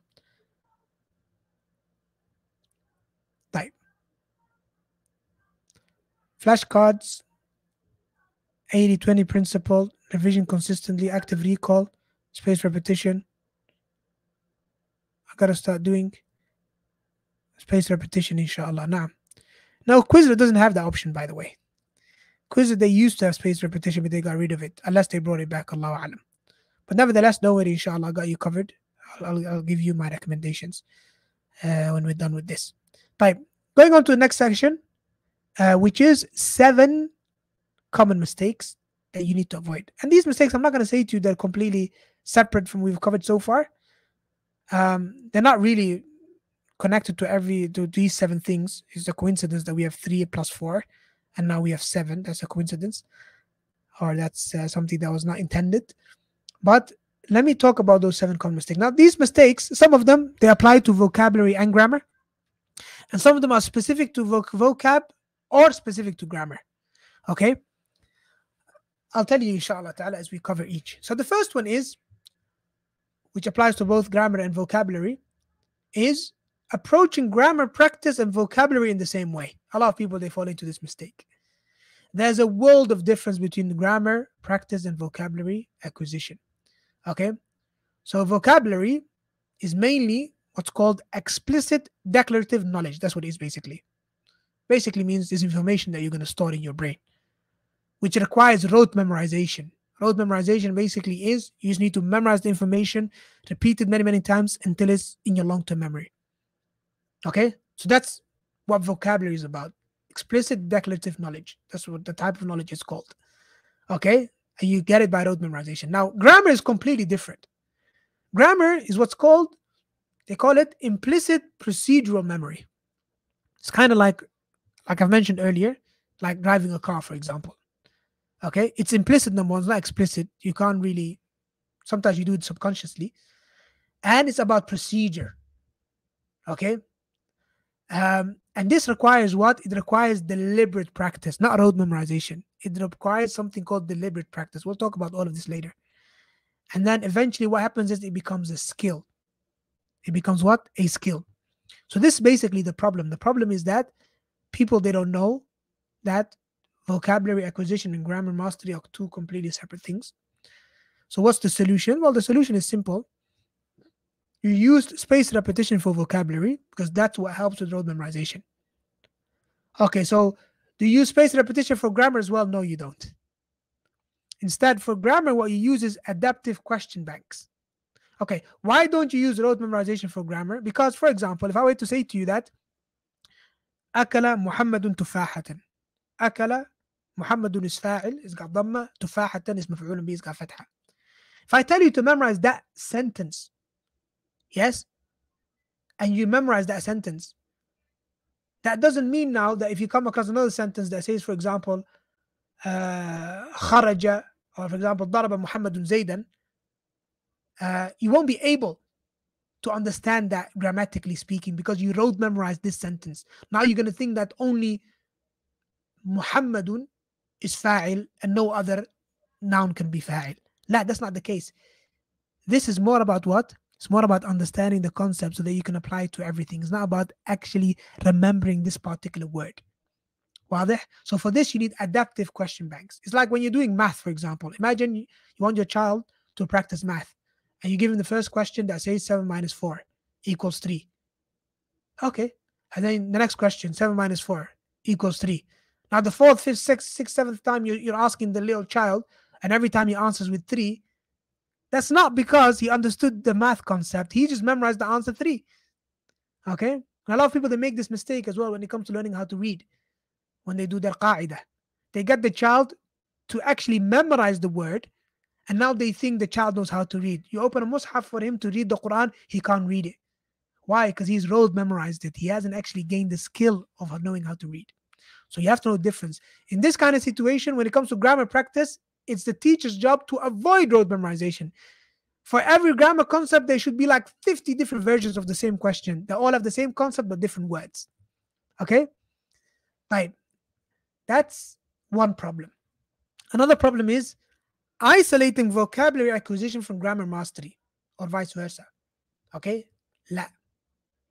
That's a problem. Why? Because vocabulary and grammar are highly dependent on each other. They need each other. Okay? Grammar consists of vocabulary. So when you want to learn grammar, it's all about these vocabulary words that are in the sentence. If there's no vocabulary words in the sentence, you can't really implement grammar. Same thing with vocabulary. If you want to remember a word and its meaning, you have to learn it within context. Otherwise, it's going to be very difficult to remember it. Okay, that's why you have all these curriculums that have these made up stories or these made up dialogues. It's for you to remember that template, which helps you to remember the words as well. Okay, so isolating them causes unnecessary difficulties, like learning vocabulary all by itself and then doing grammar with a different course or all by itself. It causes unnecessary difficulties. So it becomes very difficult, number one, to remember a word if it's not part of a context. If you just have a list of vocabulary words that are not part of a context, and you just learn that tufah means apple, qitta means cat, you try to memorize that, you're going to struggle. You're going to struggle a lot. And this, again, has to do with how our brain works, but that's outside the scope of today's class. Likewise, and this is even more important, which is that your grammar practice becomes impossible if it's not aligned with your vocabulary bank. And unfortunately, a lot of grammar books they make this mistake. Okay, which is that they got a lot of grammar exercises, which is nice and great, but the vocabulary is completely random. So now you have the student actually struggling with the question, not because he doesn't know the grammar rule, it's because he doesn't know what these words mean. Wadah? So your grammar practice has to be aligned with the vocabulary that you know so far. Okay? So that's the solution basically. Learn vocabulary by always including a sample sentence. Don't just learn it in isolation. And also build a small vocabulary bank before learning grammar. And make sure that the practice questions stay in line with that vocabulary bank and it grows accordingly. The more vocab that you learn, the more is incorporated into your grammar practice sessions. طيب. Thirdly, judging long term learning according to short term performance. A lot of people they fall into this problem. And this is such a, I wouldn't say complicated problem. There's so much to be said about this. Uh, but let me try and give you the gist of it. This again is something from some scientists. Um, this is long message. I've shared actually with my students before. I shared it with you guys as well. A quote by some scientists, the Bjorks, right? And to give you the gist of it, basically, it mentions that one of the problems is that the amount of storage strength you gain from practice is inversely correlated with the current retrieval strength. Okay, sounds a bit complicated. In other words, the harder you have to work to get the right answer, the more the answer is sealed in memory. This is what we called earlier desirable difficulty. Right? You want to sacrifice short term performance for long term learning. Don't just do exercises that are easy, like using apps like Duolingo or these guys actually they mention Rosetta Stone in particular, they say here that uh, the most popular learning system sold today, for instance, foreign language softwares like Rosetta Stone or Duolingo, if you like, cheerfully defy every one of the psychologist warnings. Why? Because what they do is they make the exercise as easy as possible. So people keep on coming back for more. And they say that, oh, look at the reviews, everybody loves it he mentions here that the sole problem here, from the psychologist's perspective, is that the user's sense of achievement is exactly what we should distrust the most. Okay, so the last thing that we should trust when it comes to knowing if the student is progressing or not is how the student feels about it. Because the student, again, he's looking at his short term performance. The student thinks that, oh, I'm, I'm getting good at this. And now he thinks that he's learning. And if he's if he sees difficulties, he's gonna he thinks he's not learning. And we talked about this earlier which is it's not difficult Arabic, but you know you need to struggle in order to gain. So it mentions here that precisely those things that seem to signal we're learning well, such as easy performance on drills, fluency during a lesson because the teacher has made it easy, or even the subjective feeling that we know something, are misleading when it comes to predicting whether we will learn or whether we will remember it in the future. So just remember this your short term performance is not an indication of your long term learning. Rather, the more the teacher pushes you, of course, not beyond a limit where you can't. And this is where this is a teacher's job to make sure that he constantly pushes your limits. If he makes it too easy, you're going to disengage. If he makes it too difficult, you're going to give up. So it's about finding the balance. Okay. So the solution is that you change your mindset, okay, to a mindset that distinguishes between long term learning and short term performance. Like I said, there are times when you want to have short term performance, like before an exam or a test. Okay. But you need to know that these two things are different. You have to embrace these desirable difficulties and you have to have confidence that will pay off in the long run, inshallah. Just don't be hasty. Thirdly, learning Arabic vocabulary through English translations. Now, how many people do this? Put your hand up. Yes. And as a matter of fact, even my students they do it because I give them Quizlet flashcards with Arabic on one side and English on the other side. And this is not because I don't understand that this is a mistake, it's because that working on the alternative takes time. And alhamdulillah, I'm happy now that I I'm there, alhamdulillah. Right now, I've got the resources for you guys and for them, such that you can avoid learning Arabic vocabulary through English translations. Okay, what are these resources? Basically, they are.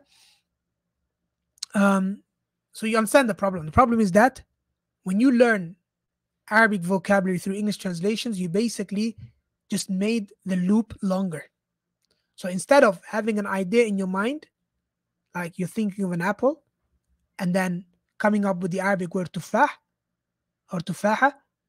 Instead, you're going from idea to English to Arabic. Now that's a longer path in your brain, which means is, is, is much is much more difficult for you to become fluent if you're gonna try and speak Arabic by thinking through English. So what's the solution? Solution is that you learn Arabic vocabulary not through English, but rather through word relations. Okay? And I actually had the notes here, I thought. I don't know where they where it went. But you learn it through word relations, such as singular to plural.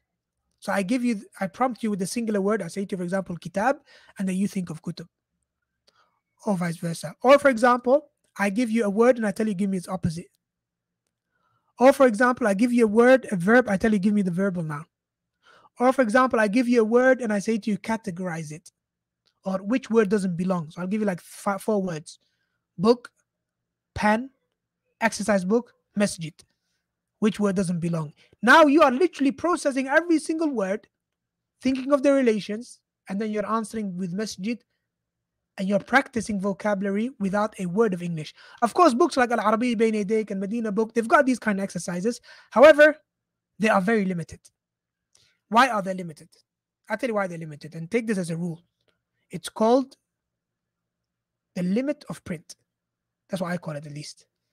A textbook will never have the amount of exercises that you need to get mastery. Never. Why? Because the limit of print. If they were to print a textbook that has enough exercises for you to master everything, then that book would be five volumes. But Alhamdulillah, in this day and age, we have technology. We don't need printing and stuff. We can have those exercises from Bayna Yadayk and we can 5x it, 10x it, so that you have enough exercises to keep you busy. And that's what I've been working on all these years Okay? To have enough exercises. Okay, so the Bain Yadayk has these kind of exercises, but they're not enough. طيب? Um, so that's why we had to resort to this methodology. But inshallah, from today onwards, no more learning Arabic vocabulary through English translations. Fifthly, not resolving sound recognition problems. What do I mean by that? The problem is basically that vocabulary words consist of sounds. And if you mishear the sound, you will misunderstand the word. So, for example, you have the word I already gave you before, famous one, qalb and kalb. Now, the letter qaf is alien to a lot of English speakers because English doesn't have qaf. So, what happens is that there's some interference. When I say qalb, you, you're hearing kalb. Okay. When I say, for example, Alim, you're hearing Alim. Maybe you're thinking I'm saying the same thing. No, I'm not. Alim, Alim, Ain, and Alim. Okay. Or for example, short and long vowels. This this what I found be the biggest problems with English language speakers, which is they don't differentiate between short and long vowels because English doesn't have short, long vowels. And what they call long vowels are not long vowels. They're actually diphthongs. Topic for another day. واضح? So that's the problem if you don't resolve these recognition problems, what's going to happen is that you're going to mishear words. Okay. And that's going to cause you to mistype them. So we have these sound recognition exercises that we do. Bayna Yadayk is full of these exercises. Actually, one of the only um, curriculums that I know of that actually pay attention to this sound recognition. Most other curriculums don't have this. Okay. So the student hears alim and he has to type it. You find a lot of students, what do they type? Alim. Some they type alim with no ya, and so on and so forth. So you have to practice this sound recognition. It's basically practicing your hearing, right? So what's the solution? You use something called minimal pairs. A minimal pair is like I've mentioned, alim or alim, haram, haram, qalb, kalb. They're basically two words that are exactly the same. The only difference being one phoneme, one sound. Qaf instead of kaf. So you use these kind of minimal pairs to develop the skill to differentiate and to compare between the two so that if you hear qalb and kalb enough times next to each other, then you finally figure out what the difference is between the two. I mean, your brain will finally figure it out. Finally, uh, second, finally, second last point, which is uh, drawn out or disjointed grammar explanations. This is a big one. This is a big one. And there's a clip by Sheikh Sulaiman Al Uyuni I don't know if you guys know him. He's one of the experts, really, this day and age. Um, when it comes to learning Arabic and teaching Arabic, he's really, really, really good at. Alam Barak. And uh, he's got some books called Sarf al-Saghir and Nahu al-Saghir, which you're going to study, inshallah ta'ala, soon. And he's got this clip that I want you to watch at your own time. It's not translated, but maybe I'll translate it, inshallah ta'ala, uh, soon. Where he talks about this problem, which is what we call drawn out or disjointed grammar explanations. Okay. And to give you the gist of it, basically, the problem is that to understand grammar, you have to get the bigger picture. Why? Because grammar is a system that is connected. All these different concepts are connected to each other. Now, if you learn grammar over a long period of time, like for example, once a week lecture, twice a week lecture, and you go over a book over a course of six, seven, eight, nine months, or if you learn it in an unstructured manner, such as notoriously Bayna Yadayk is known for. I know Bayna Yadayk, I love that series. But one of the biggest problems with Bayna Yadayk is the way they approach grammar, especially book three and four. Their grammar concepts are completely all over the place. There's absolutely no structure to it. um, which has forced me to kind of like create a some kind of mm, structure for my students. It took a lot of time. So if you learn a grammar that way by doing a different concept every week without establishing the connections, you will never be able to understand grammar because your brain can't make the connections. So what happens is instead of understanding the system, okay, and everything falling in place, you end up memorizing a list of rules which you quickly forget. So if you ever thought to yourself, wow, this grammar is too many rules, then you've been taught it wrong. Because grammar is not about rules, it's about an understanding of how the language works. To the extent that every rule kind of makes sense To the extent that even if you didn't know that rule, you could have guessed it. Wallahi, that's how easy it is. if you approach it that way. So you should never learn grammar over a course a long period of time. Here the Sheikh actually advocates, he says, and this is what he does himself. He teaches grammar over the course of three days. على مرحلة الفهم he says the level of understanding not the level of mastery no one's saying to you you'll master grammar in three days no but you can understand grammar in three days. And then it's up to you to practice and make sure that it goes from, like we said, explicit declarative knowledge to implicit procedural knowledge, uh, memory. That's for you now to practice and develop those pathways in your brain and make sure that it turns into a skill. So what's the solution? Solution is try to understand the core grammar skills in a short period of time. And I say core, core grammar skills because we talked about the 20 80 20 principle, which is that you don't need to learn all of it. Just learn the core. And also, don't learn the exceptions, learn the rules.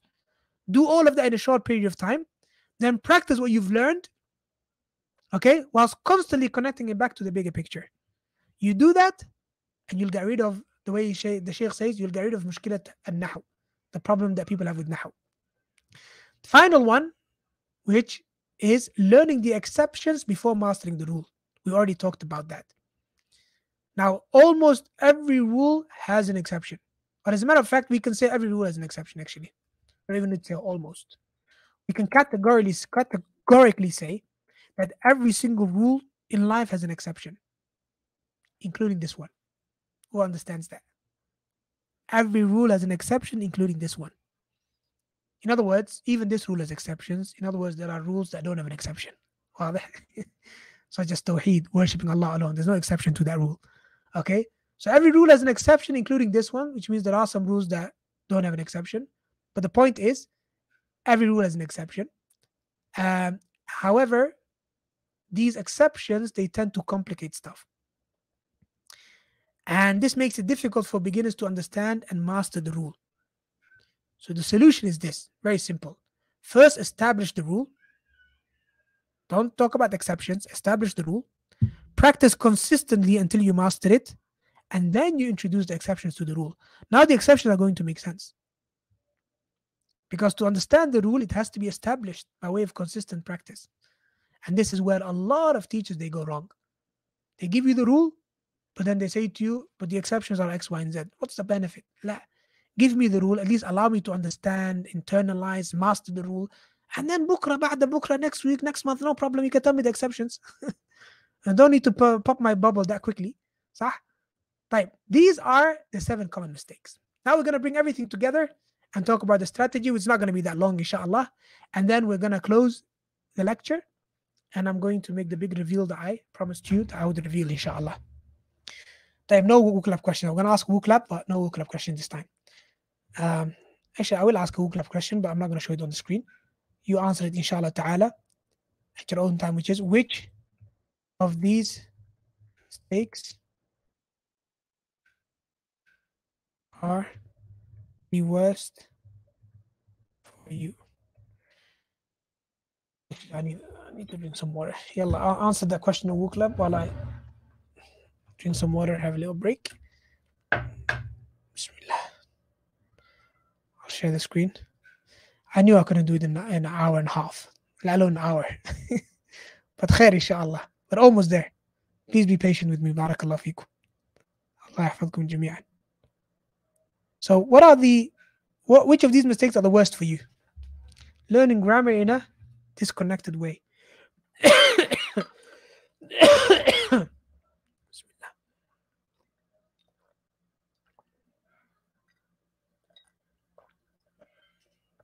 learning Arabic words by English translation, isolating grammar rules, focusing too much on grammar. I think most of you, yeah, are struggling with the grammar. Eh? Yalla, continue answering, inshallah. Barakallah fikum. Allah يحفظكم. طيب. نعم. Continue answering, inshallah, and we'll benefit from your feedback. طيب. Now let's bring all of it together. Okay consider this to be a quick revision for what we've done so far. So, how do you actually implement and put into practice what we've covered today? And sure, I'm sure it keeps on popping up. Bye. The strategy. Now, the strategy is of two parts. We have part number one, how to acquire Arabic vocabulary efficiently. Part number two, how to master grammar skills effortlessly. Okay, so efficiently when it comes to vocab, as in don't spend more time and more effort than you actually need. Effortlessly, I say that because grammar skills tend to be difficult. People perceive them to be difficult. So I want you to know how to actually learn it without it being difficult. Right. When it comes to vocab, I'll share with you these points. Number one, focus on the 20% of words that make up 80% of what you read or hear. That's takeaway number one. Type. Takeaway number two. Space out your vocabulary revision by using tools that have built-in space repetition algorithms. Like I said, I'll give you my recommendations. And there's because there's no other way to keep track of the forgetting curve without these tools. Okay. This tool I'm using right now is one of them. Uh, but inshallah, when you joined the community, I'm going to give you some options with the strength of each tool and the weaknesses, and then you can choose whichever one you like, inshallah. And then also, I'll give you the actual words for Bayna Yadayk. I haven't done Medina books yet, but I'll give you the actual words for Bayna Yadayk so that you can just upload them and start practicing, inshallah. Thirdly, practice your sound recognition skills to avoid interference between foreign phonemes, foreign sounds that are foreign to you, and phonemes present in your mother tongue. So basically, the Arabic sounds they interfere with the sounds of your mother tongue. So your mother tongue, if you're an English speaker, for example, kaf, K, but then you hear something like qaf, they're too close to each other. Or ayn and a, ayn and hamza, like a and a. So there's interference. How do you get rid of that interference? By practicing with minimal pairs. Fourthly, learn vocabulary in Arabic by prompting yourself with word associations instead of English translations. So, like we said, opposite words, singular to plural, and vice versa. Semantic categorization, like which category does the word belong in in terms of meaning, or even conjugation as well, like going from verb to verbal noun, which is fi'l to masdar, and, and back and forth. And finally, utilize the Arabic root system to multiply your vocabulary bank easily. I was going to add this to the principles, but because I said four principles, I left it out. Uh, but it could be added to principles. It could also be added as one of the mistakes that people make, which is that they learn the Arabic words separately, even though they are connected to the same root. It would be much better to learn them together. So if you learn the verb jama'a, then along with it, learn the word, the word jamia, because they're connected. If you learn the word akala, then learn with it akal, which is eating. Because in, in English, it's to eat and eating. صح? But in Arabic, the masdar doesn't always follow a specific way. It's sometimes going to be different. Like it's akala, aklan. Daraba, darban. That's fine. But it doesn't, it doesn't stay that way. Okay, so for example, you have uh, uh, فعل so it's not فعلا okay like darban and so on and so forth. So the actual harakat they change. The only way you'll remember them, because the scholars they mention it's qiyasi, is not sama'i, it's sama'i, not qiyasi, sorry. You have to memorize them. Okay? Uh, so the best time to memorize them is not as a separate word altogether, like most of the curriculums they do. They teach you the verb here and then the verbal noun comes in a completely different unit. Learn them together at the same time. That's much better. Okay? Um, and that's what we've done for you. We've gather them together. Okay. Um, then we have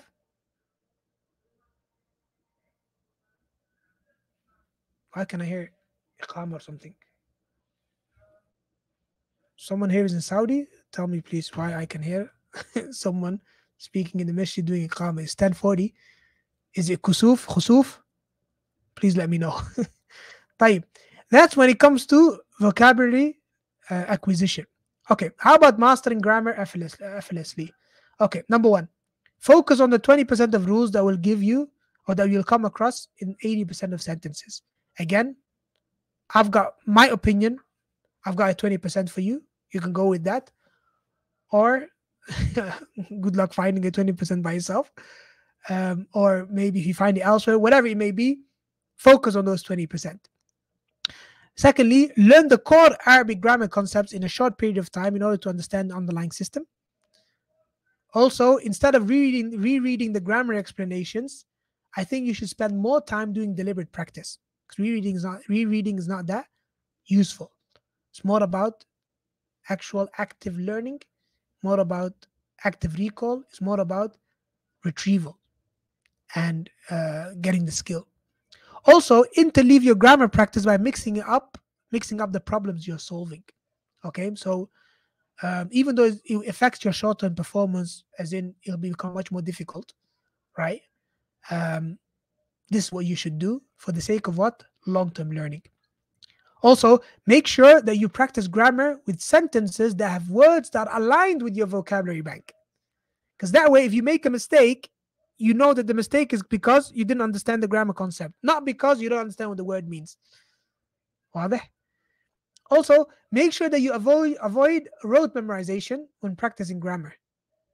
Okay, so don't like memorize the sentence, rather understand the concept.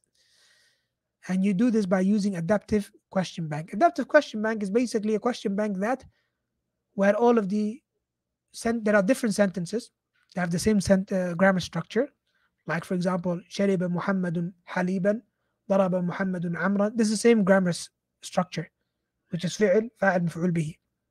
Right? Use those sentences where the vocabulary is different, but the grammar structure is the same. So these adaptive question banks, what they do is you they tag the sentence or the question according to the grammar concepts that are present within it. So then it kind of mixes up number one all of the questions such that you interleave and you practice different things. But when you get a question right, it's not going to say that, oh, Muhammad got the sentence right, which is the sentence that says, Daraba Zaydun Amra. No, it's going to say, oh, Muhammad got this grammar structure right. He knows how to find the fa'il. He knows how to find the bihi. And then based on that, the system actually uh, gives you less of that grammar concept, the better you get at it. So it's called adaptive question bank. There are some tools that use it um, in an easy way, and there are some that use AI. And that's the one I had the certificate on. Uh, one of the companies, they have a, a system whereby they use artificial intelligence to uh, take care of these sort of things, to deliver these adaptive questions. Topic for another day, but um, that's basically where we are with technology, alhamdulillah. So that's how you should practice grammar.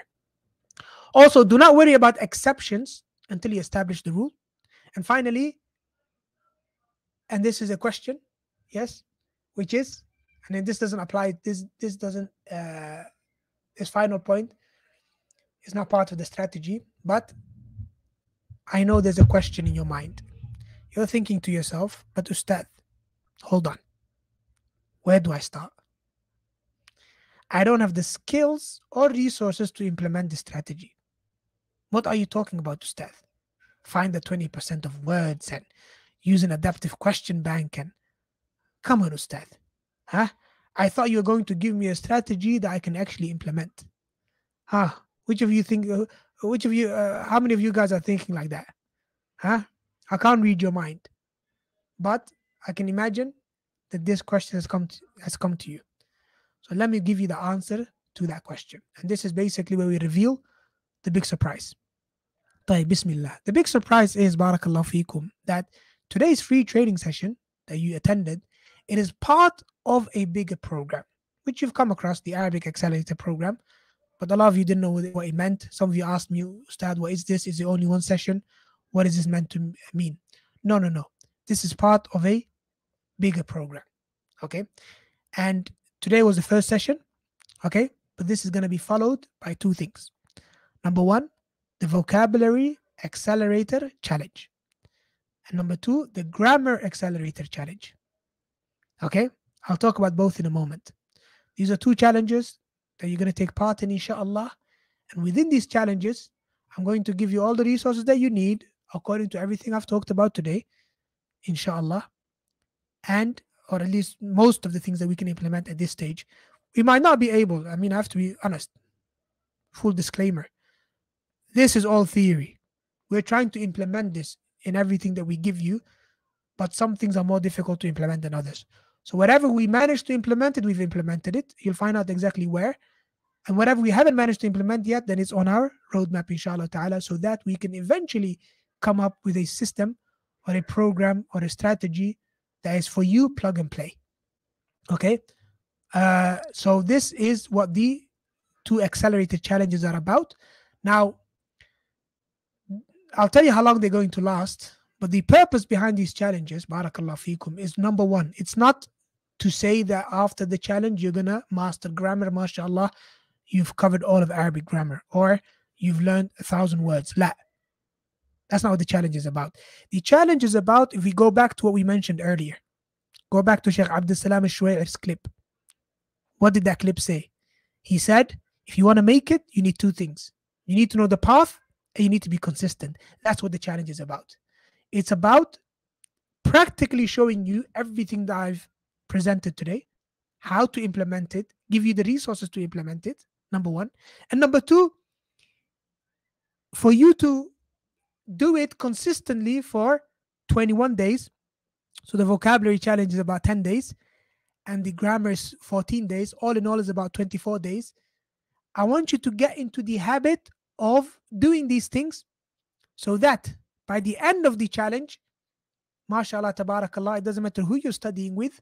Yes, you are a transformed person. You have developed good habits when it comes to learning Arabic you know how to do it, you've practiced how to do it, you went through the ups and the downs, and mashallah, this is now we've achieved our goal, which is I have hopefully accelerated your progress towards Arabic mastery. So that's basically what it's about accelerating your progress. I'm not going to guarantee that you'll get to the end of the destination at the end of this challenge. La, that's impossible. But inshallah, it will accelerate your progress towards your goal of mastering the Arabic language. And then it's going to be followed by a closing session on how to develop Arabic language skills with ease. Um, we're going to host, it's going to be me and Dr. Awad as well, if you if you guys know him. He's a lecturer at King Saud University. He's one of the trainers at uh, Al Arabiya Bayna Yadayk. He's the one that did the Arabic for All training that I've done, where they train teachers. He was the actual instructor for that. A well known, world renowned expert when it comes to teaching Arabic to non natives. He travels all around the world. He will join us, inshallah, in that session. And that is specifically on how to develop Arabic language skills with ease. Uh, it's kind of like a follow on of today's um, session. Today's session is a lot of theory. That session is a bit more practice, inshallah. And then finally, we're going to have the Upskill Arabic Alpha launch. Now, what is Upskill Arabic? I'm sure some of you have seen it on the WhatsApp. You're thinking, what is this thing? Now, Upskill Arabic is something extremely exciting, inshallah, which I'll talk about at the end, because again, uh, time is of the essence. I'm just quickly going to show you the vocabulary and grammar accelerator, what's involved, what the next steps are. And then at the end, inshallah, we'll just talk about Upskill Arabic uh, in, in, a concise way. So the vocabulary challenge, barakallah fikum, it's going to last for 10 days. It will start on Monday, inshallah. Everything goes according to plan. And it will finish on Wednesday, the 8th of November. Okay? Give or take one or two days, right? We might start one day late or whatever. I'll try to start on Monday. If not, we'll start on Tuesday. But this is basically the plan. And uh, uh, four different levels. We have total beginners. Okay? Total beginners, they're going to practice the core. Remember, we talked about learning the 20, 80, 80 20 principle. Um, I'm going to give them the core of the ABY, Arabi Bayna Yadayk vocabulary, in total 200 words. And their challenge is to master those 200 words. Uh, those of you that have done Bayna Yadayk before are doing Bayna Yadayk level one, then you're going to be doing one unit per day. Okay, 25 words. Um, and you're also going to add some word relations to that, like learning the opposites of each word, the category of each word, how to say it in Arabic, and their plurals as well. So this 200 words will be expanded a bit more. Okay. And then we have levels one to do, two, two. You're going to be doing 550 words a day, 400 in total. That's if you've done Bayna Yadayk level book one and two. And then those of you that have done level three, four, or more than that, then you're going to learn all of the words in Bayna Yadayk level one and two. It's about 600 words actually. There are 400 core words and another 200 supplemental words or are not part of the code that we've chosen. Uh, but really, the importance here is you might say that, you know what, Ustad, I've done level one and two with you before. I'm fairly confident with the with the vocabulary that I've learned in those two books. No, there's actually a bit more than that. Okay, what we're gonna do is we're gonna expand that vocabulary bank. Okay, that's how it should have been done from the beginning, actually. Qadar Allah, which is you're going to learn all of the different word relations with that word. So you're going to learn its hypernym, basically is the category that it belongs to. So if you learn tufah, you also learn fakih along with it. Okay, and you got uh, other words are related to it as well. Then you have antonyms, the opposites of the word. Then you have the plurals. What's the plural of kitab, kutub? Then you have the verbal nouns for the verbs. So if you learn the verb, for example, akala, also learn aklan. If you learn the verb, word ta'allama, then you should also know that the verbal noun is ta'liman, the masdar. The root verbs as well. So if you have a noun, what is the root verb for that noun? And also how to go from past tense to present tense, because that's not always fixed. Okay, so you have daraba yadribu. You have akala ya'kulu. Okay, shariba yashrabu. So the haraka for the present tense sometimes changes. So knowing exactly how it goes from past tense to present tense, you should know. And then command tense, this is something that it's a grammar skill. That's not something you memorize. These are the things that you actually memorize, the rote memorization that you need to repeat. Now, the benefit of this uh, challenge is that when we start the grammar challenge, you have a solid vocabulary bank. That's one of the things that we mentioned earlier, which is before you learn grammar, make sure you have some vocab. And then all of the grammar exercises are going to be based on that vocabulary. So it reinforces the vocab that you've learned, and also it makes sure that if you make a mistake in the grammar practice, it's because you didn't understand the actual word. Sorry, it's because you didn't understand the concept as opposed to uh, not understanding what the word means because you should know what the word means because you've already done your vocabulary. The schedule is as follows. So I didn't add the topics yet, but uh, for whatever level you're on, day one will be unit one, day two will be unit two. If you're doing two units, it's going to be unit one and two, and so on and so forth. Okay. Then we have one day in break in the middle. That's just to catch up and, and revise. Then another four days, and then revision. So in total, it's 10 days. Two days of revision, four days of actual learning. Um, what are the daily activities, Ustad? How am I actually gonna do these vocabulary words? Now, this is the ideal situation. If you're a bit tight on time, then we might strip it down for you a little bit. But first, you learn a new daily batch. Every day, we're gonna have a new batch that you're gonna practice. So you're gonna have a flashcard widget for today's new words. just to warm up. And then when you're done, you're gonna practice on a tool called WooFlash that has spaced repetition, and this to get you ready for assignment. The assignment, and this is the challenge, the assignment, you're not gonna write English in Arabic. La. You are going to type the Arabic word. So you better get your Arabic keyboards ready. So you're gonna get whatever prompt you're gonna get to remember the word, you're gonna type it up. You can type it with harakat or without harakat. Okay, that's the assignment. Uh, it's gonna be X number of words to test you. You submit that, and then it gets marked as well. If you make mistakes, spelling mistakes and stuff, you'll get it back marked. And then finally, you're going to do a quiz. Okay? You're going to submit a daily quiz. So these are basically what you're doing for every batch. Okay? And we're going to try and do a daily review session. Okay? It's like a 30 minute review session every day of the challenge, live session with myself. We focus on the words that are released in the last 20 hours. I go over some of the common mistakes. I answer your questions. I reveal today's leaderboard winners. Yes, we're going to have that as well. I'm going to make sure that the whole program is very competitive. We'll do a live competition online as well. And then I'm going to reveal the new words for tomorrow. And then you're going to have 24 hours to do the quiz, okay, that I talked about earlier, okay, after the review session. Uh, we're going to have a daily leaderboard as well. And we're also going to have daily quiz. These two, obviously, I've already mentioned them on the daily batch. Um, type. So that's basically daily activities. But inshallah, by the end of the 10 days, whatever vocabulary words you're meant to learn, you would have absolutely mastered them, inshallah, by the will of Allah. How much time do you need? I would say at most you need two hours. Depends on how quickly or fast you learn or how slow. But I would say, depending on the level you're on, is roughly about an hour to two hours a day. Okay. Then we have the grammar uh, accelerated challenge. This one is slightly different because uh, we're doing, in terms of schedule, we're doing live lecture one day and then one day for assignments, and then live lecture one day for assignments. That's why it's double the length because we're not just doing explanation every day. So I'm going to explain the grammar concept, and then you can do assignments. So inshallah, we're going to cover the core grammar skills in out in about 14 days. Like we said, you should do this quickly as possible.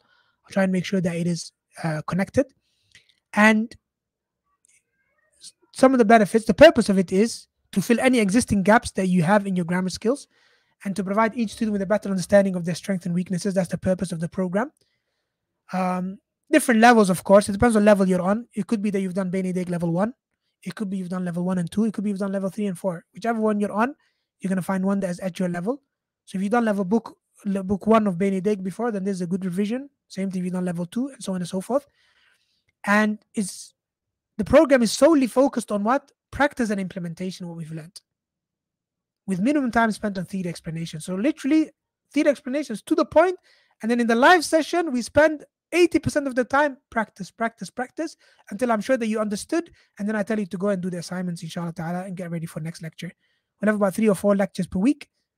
Uh, and after the lecture, you'll have the opportunity to improve your skills covered during the lecture at your own pace by doing the exercise on the portal. Uh, type At the end of the program, you'll walk away with a complete mastery of the core grammar skills. Not all grammar skills, but the core grammar skills, especially those that are related to uh, Bayna Yadayk. Okay? Maybe in the future we'll cater for other curriculums, but right now, it doesn't matter what curriculum you've learned before. Everybody can do this, but it's a bit catered more towards Bayna Yadayk. So we're doing Bayna Yadayk vocabulary, Bayna Yadayk grammar concepts. Okay, which again is a big overlap with other curriculums, but this is what we're focusing on. Taib, uh, that's the grammar challenge. Taib, I'm done with this. I'm gonna do a quick closing, tell you what the next steps are, and then we'll come back and talk about upskill Arabic, inshallah um, now the question I want to ask you before I go to the closing is all of these challenges the vocabulary challenge, the grammar challenge, and all the resources that you're going to get, and everything that I have presented so far. Okay, and we're coming to the end of it.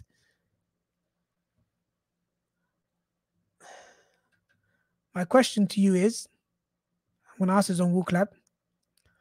So, how, how much do you think I'm going to charge you for that?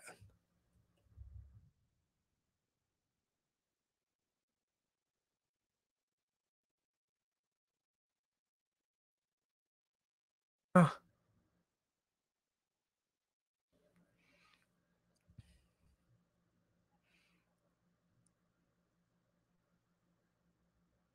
No, no, groups and everything are separate. I'll talk about the WhatsApp groups and these sort of things in a moment, but everything is segregated. Barakallah fikum.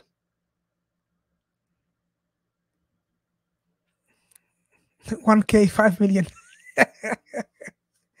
Dua. Nothing, inshallah. Very expensive. Uh, mm, quite a lot. rewards in Jannah. I can't charge you rewards in Jannah. That is from Allah. I ask Allah subhanahu wa ta'ala for ikhlas. Uh, na'am. Allah, the answer to that, my dear brothers and sisters, Allah yahfadkum jami'an, uh, is that I'm charging you nothing. It's completely free. Okay? It's completely free. Uh, benefit from it, barakallahu feek. Uh, share it with others, make sure they benefit as well. Huh? All of this, Allah yahfadkum, is, ba- is part of the bigger vision and goal. When I say to you that my vision, my goal is to make sure that everybody learns Arabic to aid the Ummah, I see it like the way I teach my tafsir classes and everything. I mean it. May Allah give us ikhlas, but I mean it, right? I want you to benefit. Okay, I want you to benefit. I want you to learn Arabic. I want Arabic learning to be accessible to as many people as possible. And this even applies to those of you that maybe are teaching Arabic. Sah? If you need these resources, you want to benefit from it, you want to help in the spread of it, tafaddal. Contact me, inshallah. Uh, let's do this. Let's let's let's have a language shift. Allah yahfadkum jami'an. You know? Um, so barakallahu fikum. This I am not charging you anything for this. Right? If you take this challenge from beginning until end, and you turn up every single day, and you do every single assignment, and it's marked for you, and you walk out at the end of the program having developed these habits and it changes the way you learn Arabic and it saves you a lot of time and money that you spend on other courses. I don't want anything from you in return. Right? All right. All I'm saying to you is pay it forward. That skill that you gain, that what you've learned, give it to someone else. Right? Let's aid the ummah. Let's spread the Arabic language. Let's cut the road for these cowboys and these highway robbers, yes, who get in between the Muslims and the scholars. Right? Now that doesn't mean, Allah yahfadkum, that is free for us. Now there's a lot of cost involved involved for us.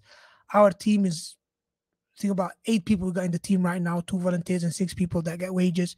There's a lot of cost and and, and, and sacrifice involved um, there's an Arabic cohort that I was meant to teach by now, which I've postponed by another three weeks. And, you know, so it's not free for us, but I don't want anyone to miss out on this opportunity because they can't afford it. But those of you that do want to support, I welcome that. Ahlan wa sahlan. There are ways for you to contribute. Now, uh, not just money wise, you can contribute, uh, barakallah fikum, by PayPal or whatever, or you can be a Patreon. May Allah reward all of those. And Wallahi, after Allah subhanahu wa ta'ala, I wouldn't have been here today where I am and being I wouldn't have been able to present all of this to you if it wasn't for the generous Patreon supporters or those that have supported me in previous endeavors. Uh, Jazakumullah khairan. I ask Allah that they get their full share of the reward. So don't think right now I come to you, uh, Muhammad Abdul has done all of this and he's the superhero. La wallah. La wallah. There's people that are sweating as much as I am in the background some that have been volunteering for, for years. There are some that have been supporting me on Patreon for months, uh, for, for years, sorry. Yes? And inshallah, all of them will have a share in the reward. You can join in that reward, la bas. I welcome that. But even if you can't, you can support by number one, support subscribing to the channel, liking the video, commenting on it, hitting notification bell, because this makes sure that more people get access to it. You know, you know what YouTube does. YouTube they see engagement, they're gonna put in everybody's feed. Instead of having a feed of some kind of deviant, they're gonna see this kind of beneficial course. Also, what you can do is you can share it with others. Uh, you can contribute to the cost, like I said, and I'll post these links on on YouTube for those of you that want. Um, absolutely don't think that when I'm posting this, uh, it's a it's a must. Like I said, if you don't pay me a penny, yes, but you benefit, Alhamdulillah, I'm happy. Okay. Or also another way that you could support us by, I mean, volunteering. I wouldn't say volunteering because we had bad experience with volunteers. Uh, not all of them, but with some volunteers before. So I don't know about volunteering, but we're even looking to hire. If you have specific skills like you know how to edit videos, social media management, there are certain things that we are not able really to do because of lack of resources. We're even willing to hire depending on the support that we get. So feel free to uh, email us at admin at binabdilwali.com for that as well, inshallah ta'ala. Now, those that's how you can support it. Okay, like I said, you don't have to pay a penny. Uh, barakallah. Uh, but uh, that's how you can support it if you want to. And next, we're going to talk about the steps. What are the next steps? You're ready.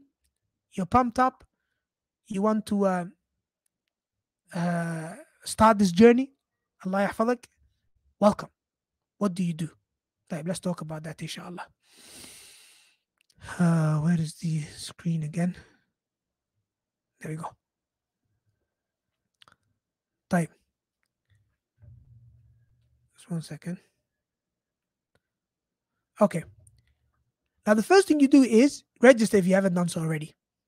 That's number one. And I, uh, the moderators, if they can repost the link at regular intervals or the other links for support as well. I don't even know how to pin a how do I pin a message from myself. Uh, if you haven't registered already, then please register. Okay, yeah, pin message. I'm trying to pin my message. Okay, anyway, I'll pin it in a moment. Type, uh, if you haven't registered, register. Then what you need to do is join the WhatsApp community. Okay, why? Because that's where we're going to post everything. Um, so you have to be in that community. If you're joining us just now on YouTube, you're watching the replay, I'll post the link as well, inshallah ta'ala, uh, later on in the description or whatever. Um, then you get the link. I mean, if the moderators can help with that, would be appreciated. Um, now, the community, by the way, is actually limited to 2,000 people. And we're already way over 1,000. So, the sooner you join the community, the better. Okay? Um. The sooner you join, the better. Uh, because if the community is full, I'm not sure if I'm going to actually open another community because of the challenges of managing so many different communities. So now is the time to join. Also, join the WhatsApp channel because the community, um, the way WhatsApp works, you can't really see previous messages. So at least if you want to see what you missed, then you'll catch that on the WhatsApp channel. There's the link to that. Barakallah fikum. I've given you four links so far. Uh, two links to support, two links to join the community.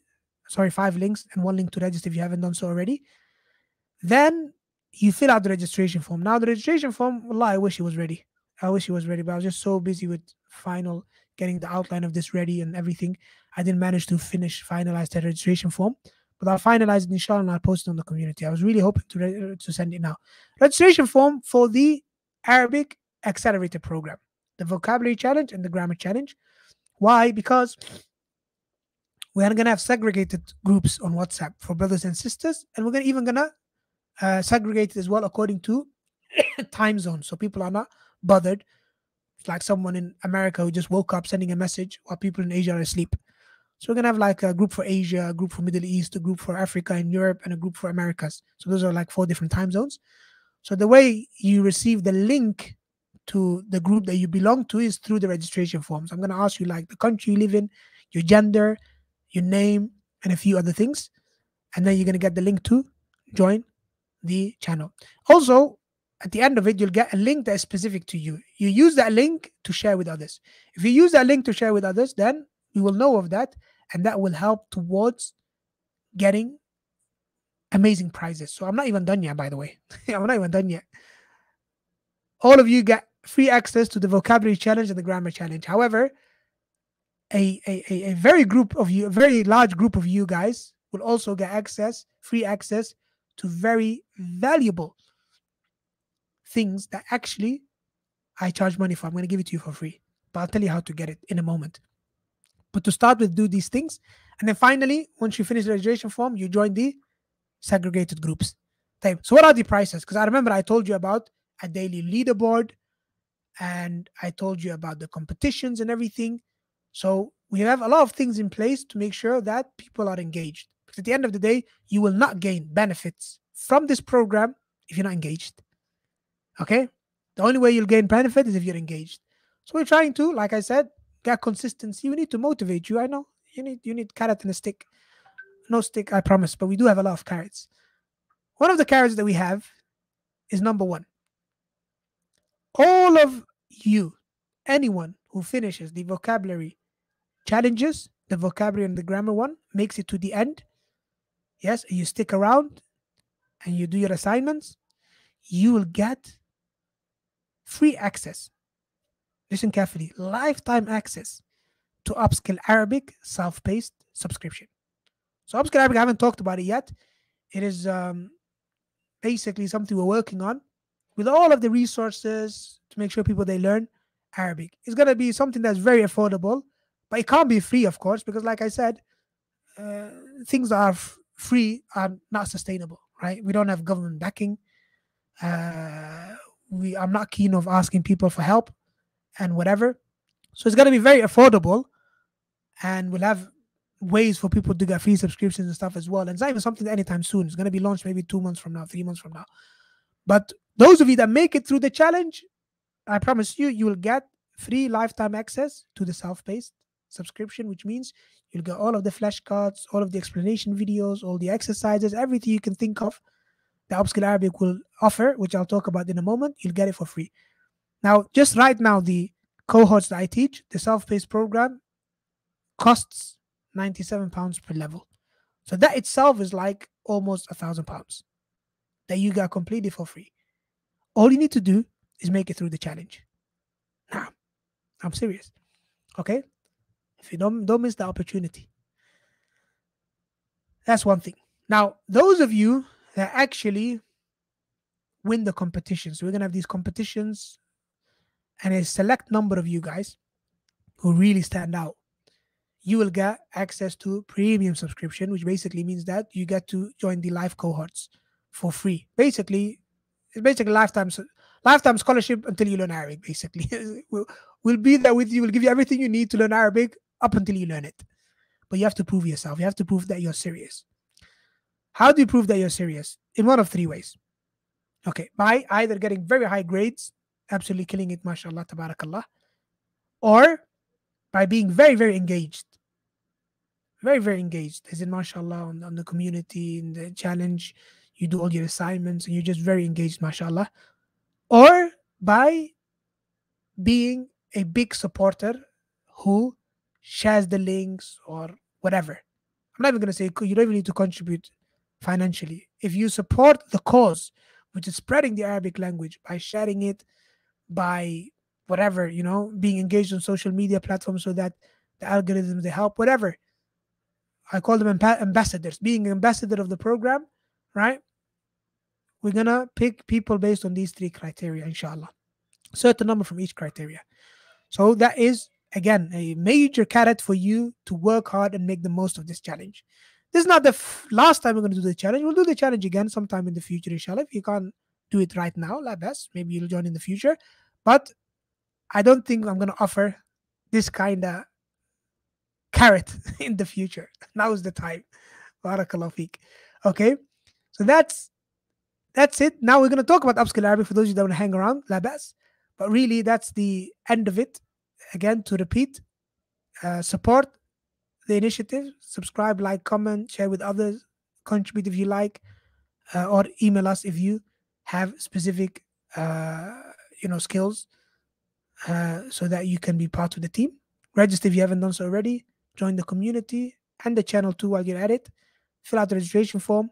Of course, the community, you'll get the link. I've sent the link already on YouTube, but you'll get it if you register as well. Fill out the registration form when I post it tomorrow.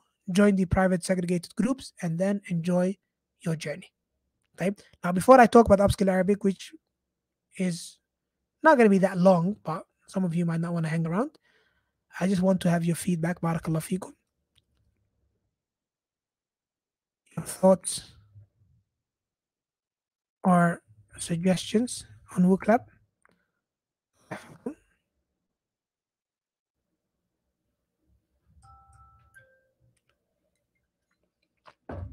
Someone said community link doesn't work it'll be posted again. It'll be posted if you've registered as well. Um, but no, here. So someone can repost it as well on YouTube. Barakallah fikum. Please do that. Um,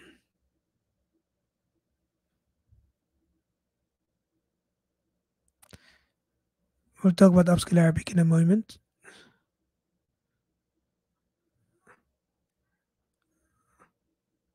Upskill Arabic is basically what I've been working on for the past 10 years. I just want to bring everything together. But I'm going to tell you why I started Upskill Arabic or how the idea came about, what it's about, and what the plans are for it, inshallah, uh, in a moment. I loved how we went through a journey instead of getting straight to the strategy. Help me appreciate the strategy more. Alhamdulillah. I like that. Jazakallah khair. So someone said, if we stick through the course, it's free. And if it's not, it costs money. Yes. So the upskill Arabic, it can't be free. It's not going to be free for everyone because otherwise there's no way to sustain it. Uh, but those of you that are fortunate enough to be part of this challenge, if you stick through the challenge, right? I'll tell you what it means to stick through it. I'll set certain criteria. You stick through it, then you'll get upskill Arabic free subscription to the self-paced self-paced area forever whatever that tier ends up being called but that's the tier where that doesn't include cohort class and stuff and some of you will also get access to the actual classes live classes with workshops and everything uh, if you are some of the most engaged highest performing student طيب okay let's talk about upskill Arabic الله يحفظكم جميعا May Allah Ta'ala accept from us all. Jazakallah khair. Um, so, upskill Arabic. Type. Bismillah.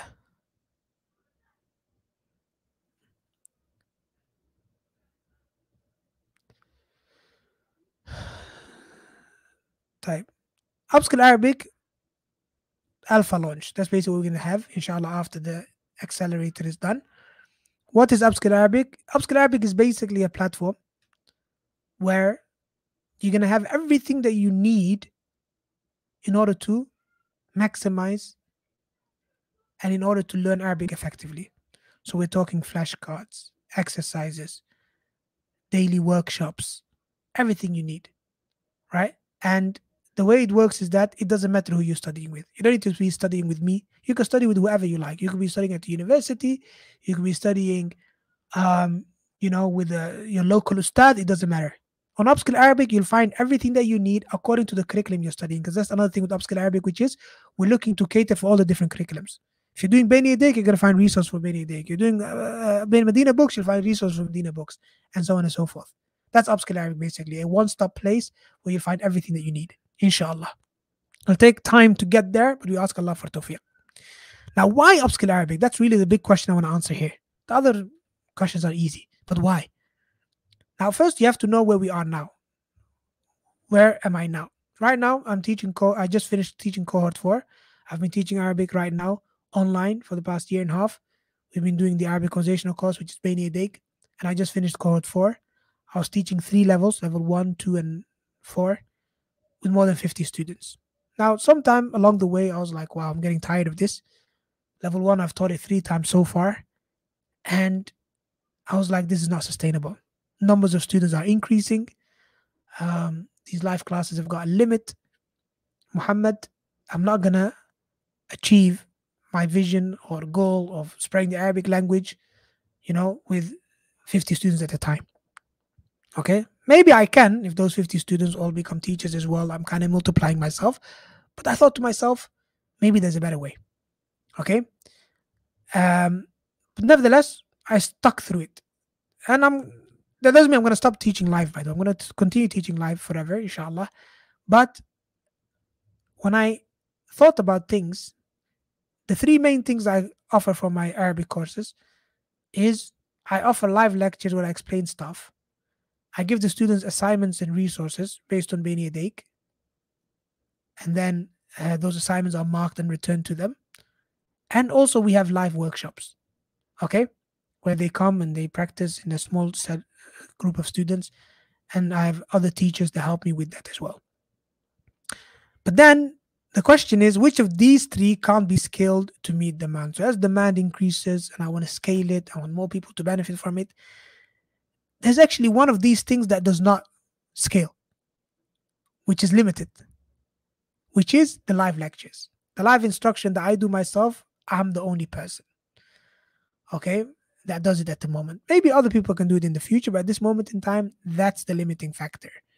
Okay, so a solution to that obviously is very simple, which is record the lessons beforehand and employ what's called the flipped classroom model, whereby students they watch the video at their own time and then they attend for the workshops in order to implement. That's a solution, alhamdulillah. Uh, but really what caught my eye is, and this is alhamdulillah from the ni'mah of Allah and also from the from my students, which is at the end of every cohort, I send out feedback forms and I gather their feedback to see what to work on, what's best, what's working for them, what's not. Okay, because at the end of the day, my experience of learning Arabic was a very long time ago, and I didn't have most of these resources, but they do. But the only way for me to know if the resources actually work is by getting their feedback, of course. So the from the feedback that I've got, I found that what the students benefit from the most are two things, which are the workshops and assignments. That's what they benefit from the most. And of course, it makes sense because this is active learning that we talked about today in workshops that actually implementing what they've assignments that implementing what they've learned. Right? So that's when I thought to myself, what can I do? What should I do? Now, Alhamdulillah, it's from the ni'mah of Allah subhanahu wa ta'ala. I'm not boasting, but Alhamdulillah, Allah has given me an ability to create good learning resources. Because Alhamdulillah, I've done some courses on instructional design and other courses. Like I said, I've done a certification course as a learning engineer, what they call. So Alhamdulillah, that I see as my strength, which is creating learning resources that are engaging and are good. So I said to myself, you know, Muhammad, there's so many people that are explaining grammar, that are explaining Arabic, that are doing live classes. People have local teachers, some are studying at universities, some of them are watching videos. I said to myself, why am I spending so much time on those things? What, why not make more use of the strength that Allah has given me? So I said to myself, what should I do? Answer was, I should probably spend most of my effort on creating learning resources and arranging live workshops, since this is what students benefit from the most. Okay, so that's basically how we came to upskill Arabic. Tayyib, that's the thinking behind it, which is put more effort on learning resources and make that available to everyone. That can be scaled, mashallah. So it doesn't matter who you're studying with, you can benefit from these learning resources and also arranging live workshops which is kind of like an opportunity for you to implement what you've learned with your teacher locally with a small group of students that are at your level. So, Alhamdulillah, we've been working on that for a while. As a matter of fact, we spent a lot of money on creating a, a mobile app. Okay, Alhamdulillah, there's people that supported, that invested, and may Allah reward them. So, we put money on creating a, an app that will help with arranging those workshops. And then we have other platforms for the delivering and doing the resources. And that's how we are looking, bi'idhnillah al-kareem, to make upskill Arabic work. Now, at this moment, it's going to be an alpha, alpha launch, which is going to be with the most engaged students, like I said, because I'm going to benefit from them a lot and they're going to benefit the program. Disengaged students, you know, uh, you know, what can I do? You know, they won't benefit as much and they might also, you know, affect the environment. So that's why I'm offering Upskill Arabic. The alpha launch is only for engaged students. And in that launch, we're gonna try and release everything that we have so far, arrange the workshops, get the system up and running. Once the system is up and running, then we'll go to a beta launch and then we'll do a public launch, inshallah ta'ala. And then after that, you will make a subscription so that the system can sustain itself and so that more and more people can benefit.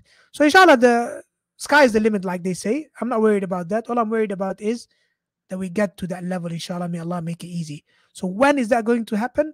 Well, the alpha launch is about a month from now after the accelerated program. And then it really depends on how long it takes to get the system running and have enough resources. And then we'll do the beta launch and then the public launch. Hopefully before Ramadan, bi'idhnillah al-kareem, it should be available to everyone.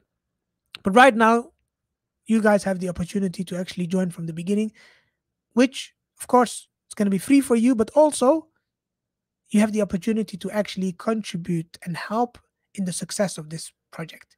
So that inshallah ta'ala, two, three, four, five years from now, if we see major differences in Muslim communities in the West and what have you, you can say, Alhamdulillah, from the ni'mah of Allah, I was part of that.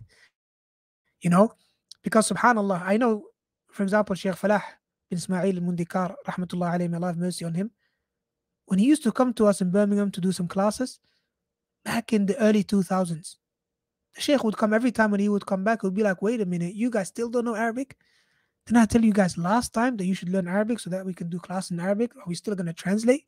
He used to say that all the time. And I'm sad to say that 20 years later, we're still at the same situation, right? Still only a fraction of the people know Arabic.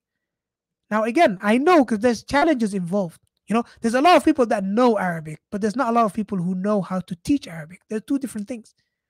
A lot of people they think that oh, he graduated from Jamia Islamiyya, he learned Arabic, he must be able to teach it. No, that's not the case. So unfortunately, there's a lot of different uh, wrong approaches. These common mistakes that we talked about today, I'm sure all of you have some level of experience regarding that. Uh, not many people implement these principles that we talked about, and even worse, nobody's creating these kind of resources that we're talking about, which give uh, the biggest, um, if you like, uh, effect or biggest results. So that's inshallah ta'ala when it will happen. Who, like I told you, anyone that is learning Arabic can benefit from upskill Arabic. Anyone. Doesn't matter who they're studying with. That's Alhamdulillah how I hope to spread my efforts to as many people as possible without it being limited to myself. Where, uh, like I said, it's going to be on a dedicated platform, inshallah ta'ala, that is being worked on at the moment. That's Upskill Arabic. Uh, it's not yet public knowledge, but you guys first ones to find out. Uh, let me know what you think about that idea actually. I know some of you posted questions, but I don't think I can answer questions today. So, what do you think, Arabic, and what are your? Uh, do you have any suggestions? I welcome that. Barakallah fikum. You can answer on WooClap.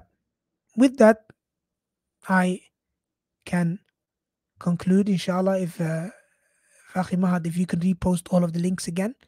Allah yahfadak. The links to support, the links to register, the links to the community platform, the channel. I would appreciate that. Barakallah fikum. Um, let me see what you guys say about upskill Arabic. Bismillah. طيب again I'll we'll conclude with that anyway we're done بارك الله فيكم هذا والله أعلم وصلى الله وسلم على نبينا محمد please again subscribe like the channel engage with the content, hit the bell button, whatever. These things, subhanAllah, brothers and sisters, it takes nothing, right? It's literally a few clicks and you can help in the spread of the khair. But still, not everybody does it. You know, Still not everybody does it. So I need you to do that, inshallah. Not just today, but going forward, whenever we have a live YouTube session or a YouTube video is uploaded, you know, interact with it, inshallah ta'ala, so that at least, you know, people can have a break from all of the misguidances and shubuhat and evil stuff that are being posted on YouTube. Allah yahfadak. So to clarify, does that mean that our classes are over for Bayna Yadayk? No, not at all.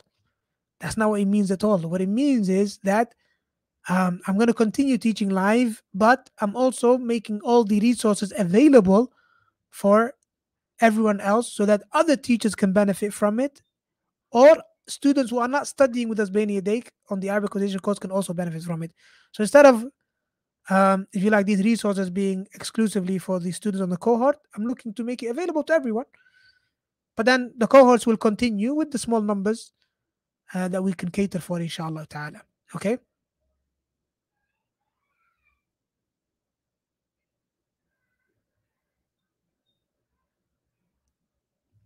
Barakallah fikum. So, yeah, so this idea I had for a long time. it was one of the best kept secrets. but I'm, I'm happy to have shared it with you guys today. Make dua for us, inshallah ta'ala. Support it what you can, whichever way you can support, like we said. And we ask Allah for tawfiq. It's been a very, very challenging, if you like, um, few days for me. I don't even know how we are hitting 11.30. That's two hours and a half. SubhanAllah. Anyway, I never really committed to any time. I think in my uh, on the website or in the community because I knew that is going to be a struggle to hit to to to uh, commit to any specific time frame. Honestly, those of you that are still here, you guys, Allahumma barik. You guys are soldiers. Allahumma barik. you guys, those that are still here, you're soldiers, mashallah. That just that shows commitment then and then.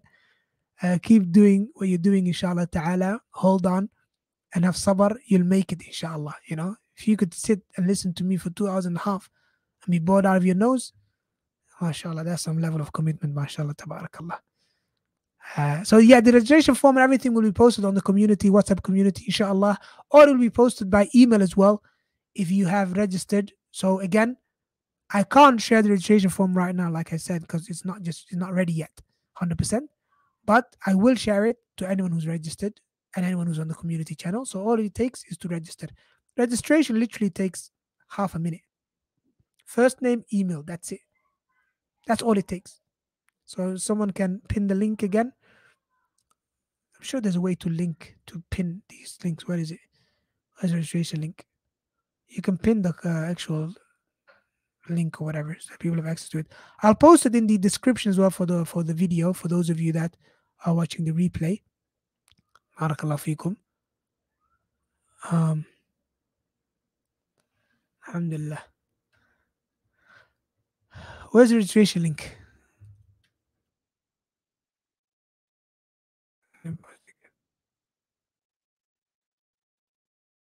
Just register. The moment you register as well, you get an email with the community link or the channel link. So that's all you need to do. That's the link to register How do I pin it? I don't know. I think it has to be done on YouTube. طيب بارك الله فيكم الله يحفظكم جميعا again don't forget to share it huh share it with anyone that might benefit pin message there you go message pinned okay share with everyone um, I'll suffice with that الله يحفظكم again once again جزاكم الله خيرا for joining Barakallahu fikum. And uh, I hope to see all of you in the challenge. See to see all of you benefiting, inshallah. Kareem, three weeks from now, four weeks from now, we're going to have some amazing success stories, inshallah. And we'll have finally proved, and like I said at the beginning, the whole purpose is what? To prove that learning Arabic is not difficult. You guys, inshallah, will prove to the world that that's the case, inshallah. Okay? Hayyakumullah. Assalamu alaikum wa rahmatullahi wa barakatuh.